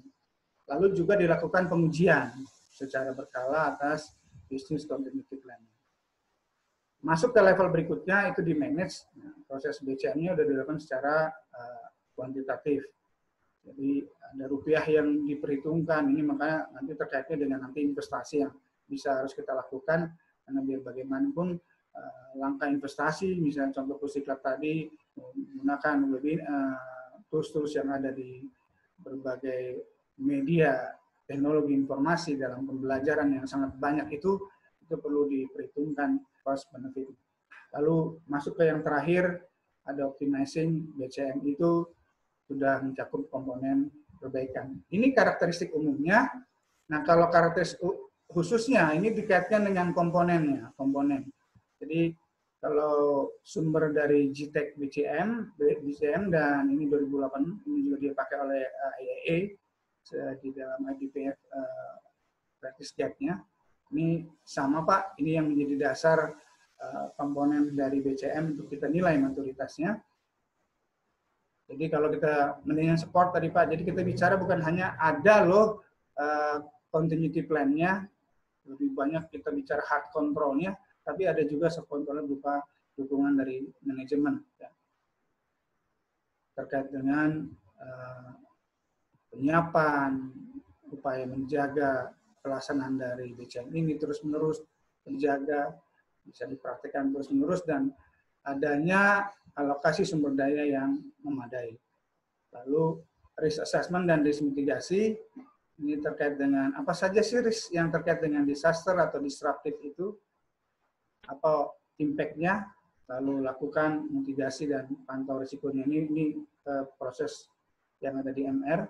Lalu baru berikutnya masuk ke kita identifikasi proses bisnis yang harus yang bisa kita identifikasi yang harus ada supaya bisnis itu bisa berfungsi saat terjadi keadaan tidak normal, saat terjadi uh, disaster atau disruptif. Dan berapa lama pemulihan itu bisa terjadi. Nah, biasanya di sini ada dikenal dengan yang namanya uh, recovery time objective itu ditentukan misalnya kalau di BI di Direktorat SDM itu karena kaitannya sama uh, penggajian dan absensi kalau nggak salah maka dia tetapkan RTO itu 30 menit gitu itu uh, pendek sekali dia uh, apa namanya uh, recovery time objektifnya ada juga recovery point objektif. Nah, ini bicaranya terkait dengan data-data yang bisa di recover. Ya, misalnya dalam contoh yang tadi dekat SDMBI itu, ya data-data kepegawaiannya tentunya, data-data penggajiannya tentunya, data-data kehadirannya, itu harus bisa di recover. Apa saja data-data yang harus bisa di recover supaya uh, tetap bisa bisnis ini tetap bisa berfungsi pada saat keadaan tidak normal.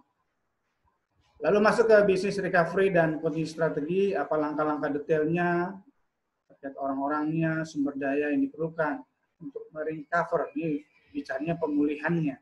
Jadi tadi Bu Rini sudah jelas mengatakan saat krisis dan setelah krisis. Nah, ini bicara bisnis recovery dan continuity bicara pemulihannya, keberlanjutannya setelah itu. Lalu bicara juga awareness dan training, ada education dan membangun kepedulian terkait dengan program BCM ini. Nah, lalu exercises ini pengujian atau testing ya. Ada ada jadwal yang yang reguler untuk simulasi untuk testing ini. Nah, ini melibatkan uh, internal stakeholder. Lalu manajemen, manajemen uh, maintenance pemeliharaan, ini manajemen menunjukkan dukungan terhadap upaya menjanjikan Uh, melaksanakan, menjaga, memelihara dan memperbaiki uh, BCP ini. Nah itu kalau komponen di uh, BSM. Nah secara overall, uh, Profit itu mengatakan BSM ada tiga elemennya. Tadi sudah disajikan Bu ini, proses manajemen dan komunikasi. Nah, kenapa komunikasi penting? Ya, tadi sekali lagi kita katakan, nggak mungkin kita instansi perintah, pemerintah melakukan layanan bisnis tetap berlanjut tanpa komunikasi dengan pihak eksternal, dengan customer kita, dengan stakeholder kita. Lalu yang uh, B, bagian B, Business Resumption Planning, ini bicara yang tadi Business Recovery dan Continuity Planning tadi. Lalu secara spesifik, IT Disaster Recovery. Sekali lagi, Bapak Ibu, uh, memang BCM itu kental dengan uh, nuansa IT-nya, karena keberlangsungan suatu layanan usaha dalam situasi yang pandemi atau situasi disruptif memang menuntut adanya kebutuhan IT. Nah, oleh karena ini secara spesifik terkait IT juga harus ada disaster recovery plan-nya, ya. DRP-nya juga terkait dengan itu. Jadi menyangkut aplikasinya, sistemnya, database-nya, penyimpanan datanya gitu ya. jaringannya gitu ya. Nah, ini ini yang kita lihat dalam uh, menilai maturitas. Nah, kalau kita pakai yang dari IPPF atau dari uh, GTEC, ini ada di atas ini adalah tadi komponen yang dinilai, ada minimum sport dan sponsorship, maturity, ini karakteristik detailnya Pak. Kalau kita lihat dari yang paling bawah inisial itu, uh, keterlibatan top manajemen itu uh, tidak tidak secara formal atau bahkan nggak ada keterlibatannya. Yang terlibat utama itu justru yang di level uh, middle management. Itu di sini sampai dengan naik ke atas sudah ada uh, keterlibatan dari uh, senior management. Nah, terus sampai ada steering committee sampai ke di level optimizing itu uh, senior management sudah me, me-utilize, memanfaatkan BCM ini dalam rangka uh, membangun atau mengambil kebijakan yang membangun efisiensi dan membangun hubungan strategik dengan pihak ketiga. Jadi sudah digunakan seperti itu. Itu menunjukkan level yang makin tinggi. Nah, di kolom yang ini adalah uh, upaya yang dilakukan untuk bisa mencapai karakteristik ini. Ini untuk yang yang sport, lalu yang risk assessment dan business impact analysis ya. Ini juga mulai dari yang inisial sampai enggak belum ada uh, informal uh, formal risk assessment terkait dengan continuity ya adanya ya mungkin risk assessment terkait dengan bisnis biasa saja tapi tidak secara spesifik uh, membangun suatu mekanisme yang yang sistematis untuk menilai atau memiliki profil risiko dan membuat BCP terkait dengan risiko keberlangsungan usaha. Lalu ini ada bisnis community strategi dan desainnya. Ya, ini bicara keselarasannya. Lalu bicara juga masalah eh, apakah bisnis strategi bisnis continuity itu sudah direview dan menjadi bagian yang penting dari pengambilan keputusan strategis dari top management. Lalu ada business uh, alignment dan maturity evaluation. Ini keterkaitan antara tujuan sasaran yang biasa kita lakukan dalam Rensa itu sudah mempertimbangkan yang dikembangkan dalam BCM. Nah, ini mungkin yang jadi pentingnya memang kalau BCM ini sudah ada duluan, ketika terjadi pandemi, maka kita mungkin bisa bernegosiasi dengan penetapan targetnya. Ya, tapi kalau nggak bisa, kita akan lihat apakah memang kita perlu sempurnakan lagi PCP kita uh, untuk bisa mencapai target yang ada. Lalu yang berikutnya adalah uh, plan development dan strategi implementation. Ini bicara yang tadi sudah dijelaskan terkait dengan uh, perencanaan mengatasi krisis, uh, lalu pemulihannya, dan bagaimana bisnis itu bisa berlangsung kembali ya, setelah keadaan uh, jadi seperti ini normal tadi yang disebut oleh Bu Rini ya. Ini itu yang dilihat karakteristiknya Lalu ada training awareness ya, yang pasti kita yakinkan bahwa semuanya itu memahami tentang BCM. Jadi bukan hanya middle management, bukan hanya top management, tapi semua pegawai. Lalu juga eh, para pihak yang terlibat dalam eh, struktur di BCM ini, nah kalau struktur BCM ini biasanya seperti ini Pak, eh, dia melekat di jabatan yang ada, ya mereka di jabatan yang ada dan orang-orang inilah yang akan melatih orang-orang yang lain nah, melatih yang train others di pegawai di bawahnya uh, seperti itu ya. Lalu ini pengujian. Nah, ini yang menarik adalah yang paling baik pengujian apakah BCP itu di benar-benar uh, efektif apa enggak. Nantinya adalah kita tidak melakukan kalau kalau bias, biasanya simulasi kebakaran juga kan gitu ya Pak kalau yang bagus kan gitu tuh uh, tiba-tiba bunyi wing, wing, wing, gitu kan. Kita sampai kaget gitu kan sampai dengan ada yang bilang bahwa ini ini hanya simulasi gitu kan. Nah seperti itu. Jadi unannounced testing tidak diumumkan. Jadi jangan diumumkan sebelumnya. Oke okay, besok kita mau simulasi ya. Nggak gitu nggak. Jadi kalau seperti itu nanti orang-orang udah siap gitu. Tapi ada unsur dadakannya ya. Jadi simulasinya tuh sifatnya dadakan Lalu nah ini yang mungkin agak cukup panjang saya bicara mengenai monitoring dan auditing ya. Jadi kalau dari sisi monitoring oleh si uh, orang yang melaksanakan BCM ini, nah, yang inisial itu jarang karena dianggap itu costly, Pak. Mahal. Itu di level inisial. Di level repeatable, itu monitoring dilakukan tidak praktis, terutama kalau dari sisi sudut pandang aspek keuangan. Lalu di level define, itu dilakukan oleh council, oleh dewan atau oleh komite. Di level manage, secara reguler dilakukan oleh tim lintas fungsi. Jadi melibatkan bukan hanya orang-orang yang terkait dengan BCM, bahkan internal audit juga sudah terlibat di sini. Baru yang berikutnya sudah melibatkan juga pihak ketiga dalam memonitoring. Nah, dalam konteks audit, jadi sama dengan uh, matriks SPP, peran APIP itu juga menjadi unsur yang penting di matriks SPP ini juga gitu tugas audit yang dilakukan oleh internal audit itu itu akan menentukan level maturity dari uh, komponen ini. Kalau di inisial itu tradisional. Disaster recovery plan, BCP, ya mungkin sampai seperti dengan saat ini kita sekarang ya Pak, kita nggak pernah melihat secara spesifik uh, menjadi cakupan kita, ruang lingkup kita, apalagi jadi program audit kita terkait dengan recovery plan ini. Itu di level inisial. Di level uh, repeatable, sesekali kita nge-review di RP. Review ya Pak, bukan audit. Baru masuk ke level uh, define, ya. itu kita pantau perubahan-perubahan business continuity plan saat ada perubahan aturan. Ya. Jadi agak agak lebih intensif dipicu oleh risiko terkait dengan perubahan peraturan. Lalu yang berikut bersama-sama dengan lintas fungsi menilai risk assessment dan BCP yang ada, terutama khususnya pada risiko-risiko yang tinggi. Nah, di level optimize, nah kita menggunakan secara reguler, melihatnya secara keseluruhan, seluruh komponen BCM itu, dan kalau perlu melibatkan juga pihak ketiga. Itu di komponen terakhir, di komponen BCM yang bisa kita lihat maturitasnya. Nah sekarang tantangannya buat kita apa Pak? Tadi Pak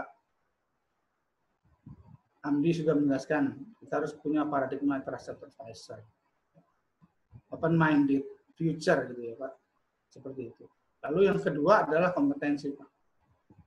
Kita nggak bisa membantu memberikan sosialisasi, diklat, saran terkait BCM kalau kita nggak paham proses bisnisnya.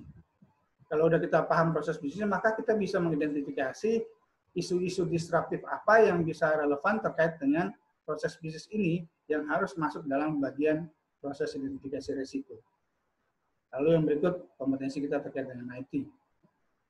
Karena ini bicaranya nanti kepada BCP-nya, business contingency plan-nya yang pasti melibatkan IT. Tanpa pengetahuan kita terkait dengan IT, akan sulit kita bisa meyakinkan bahwa BCP-nya sudah mengcover semua.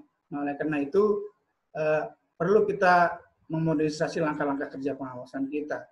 Nggak bisa hanya dengan cara-cara yang lama, teknik-teknik yang ada, yang yang lama yang kita lakukan. Yang, yang mendasar juga di IAE dikatakan kita harus eh, bisa melakukan benchmark, Pak. Melihat BCP itu sudah betul apa enggak, sudah tepat apa enggak, mengcover semua skenario disruptive event itu ya kita harus melakukan benchmark. Jadi langkah kerja benchmark itu menjadi suatu kewajiban. Jadi uh, banyak kan analisis pak. Kalau analisis uh, nggak mesti kita harus datang ke lapangan. Ini ada banyak pertanyaan di Q&A eh, terkait dengan itu. Bagaimana mengatasinya? Ya, kalau kita bicara BCM sendiri, audit BCM, ya banyak sekali lebih kepada analisis. Wawancara kita bisa lakukan lewat uh, video call, sekarang video call WA bisa 8 orang ya. Kalau nggak bisa pakai Zoom gitu misalnya, itu bisa dilakukan seperti itu. Kita wawancara, yakinkan bahwa memang uh, BCP mereka uh, adalah sudah memadai. Nah itu satu. Terus yang kedua juga yang jadi pertanyaan di Q&A kita tadi banyak, bagaimana kita proses pengawasan kita itu dalam konteks pandemi ini. Kita sendiri sebagai APIP mestinya kita lebih dulu sebagai pelopor membangun BCM ini. Harusnya seperti itu. Apa yang kita lakukan di dalam seperti ini? Nah, boleh, makanya saya mulai dengan kalimat modernisasi langkah kerja. Tanpa itu kita nggak bisa tetap mencapai target yang ada, tapi proses bisnisnya sama. Itu nggak mungkin, Pak. Proses bisnis harus kita rubah. Nah, itulah gunanya uh, kita membangun BCM atau Business Continuity Plan sebagai dokumen uh, wajibnya di BCM. Uh, saya kira itu Pak Pak Arfan, saya kembalikan ke Pak Arfan. Ya, terima kasih Pak Andilo. Pak Andilo sudah memaparkan terkait dengan bagaimana peran APIP dan juga bagaimana tantangan APIP dalam menghadapi uh, business continuity management dalam menghadapi uh, APIP ini dikaitkan dengan business continuity management. Kalau tadi kita melihat sebenarnya Pak Andilo sudah menyampaikan bahwasanya peran auditor internal itu ya ada tiga, mulai dari mungkin dari uh, sebelumnya, saat dan atau setelah krisis. Saya mau menggarisbawahi pada saat sebelum tadi, berarti kita melihat bahwa kita harus bagaimana caranya memberikan kesadaran kepada para auditi kita atau kepada para stakeholders kita bahwasanya BCM itu penting dan bagaimana kita menyadarkan mereka supaya mereka mau membangun bisnis continuity management itu sendiri. Dan tadi disampaikan kalau misalnya belum ada di dalam internal audit charter, ya udah kita minta supaya IAC-nya atau internal audit charter-nya itu nanti dimodifikasi ataupun diperbaiki atau disempurnakan dengan memasukkan BCM ke dalamnya. Kemudian terkait dengan yang saat sekarang, uh, kemudian kita bisa melihat bahwasanya uh, kita perlu memantau, kita sebagai internal audit, kita perlu memantau dan menilai respons yang diberikan oleh para stakeholders kita, para auditi kita. Kemudian kita juga bisa berpartisipasi aktif dalam manajemen krisisnya itu sendiri. Namun tadi diingatkan oleh uh, narasumber kita, Pak Andilo, kita tidak boleh ikut atau tidak boleh mengambil alih. Itu yang paling utama, kita tidak boleh mengambil alih, kita berperannya tidak dalam mengambil alih peran dari uh, para auditi kita. Kemudian di setelahnya kita bagaimana uh, setelah krisis kita bagaimana kita bisa melihat atau menilai efektivitas dari upaya-upaya pemulihan, kemudian juga secara kontinu kita juga terus menilai risiko yang di uh, yang akan uh, terus, terus menilai risiko yang akan muncul dan juga membuat suatu panduan sehingga ada perbaikan dalam proses bisnisnya ke depan. Jadi ini yang saya lihat kemudian ada tantangan tadi disampaikan oleh Pak Andilo bahwa dalam tantangan itu ada satu atau dua ya, ada kompetensi auditor ini yang menarik. Kompetensi auditor dan juga ada modernisasi langkah kerja. Begitu kita mengatakan ada kompetensi auditor, maka webinar yang kita laksanakan seperti sekarang ini dan juga diklat-diklat yang diselenggarakan oleh Pusdiklat UAS BPKP itu adalah salah satu solusi untuk meningkatkan kompetensi para auditor. Mungkin ada macam-macam yang lain lagi untuk meningkatkan kompetensi, tapi yang tadi saya sebutkan adalah salah satu yang mungkin sangat berpengaruh dalam peningkatan kompetensi Bapak dan Ibu selaku auditor. Itu yang bisa kami uh, rangkum sedikit dari apa yang disampaikan oleh Pak Andi Lotohom. Nanti kita akan berdiskusi lebih banyak terkait dengan ini. Uh, Bapak dan Ibu sobat pengawasan, uh, sebelumnya kita sebelum kita masuk ke uh, sesi tanya jawab, berikutnya akan ada sesi tanya jawab. Uh, sebelum masuk ke sesi tanya jawab tersebut, kami akan memberikan tayangan kepada Bapak Ibu sekalian. Ini ada satu tayangan dari Pusdilatos BPKP terkait dengan tadi juga peningkatan kompetensi auditor, salah satunya di sana, kita akan melihat bagaimana uh, Pusdilatos BPKP menawarkan atau memberikan pelayanan untuk peningkatan kompetensi bagi Bapak dan Ibu.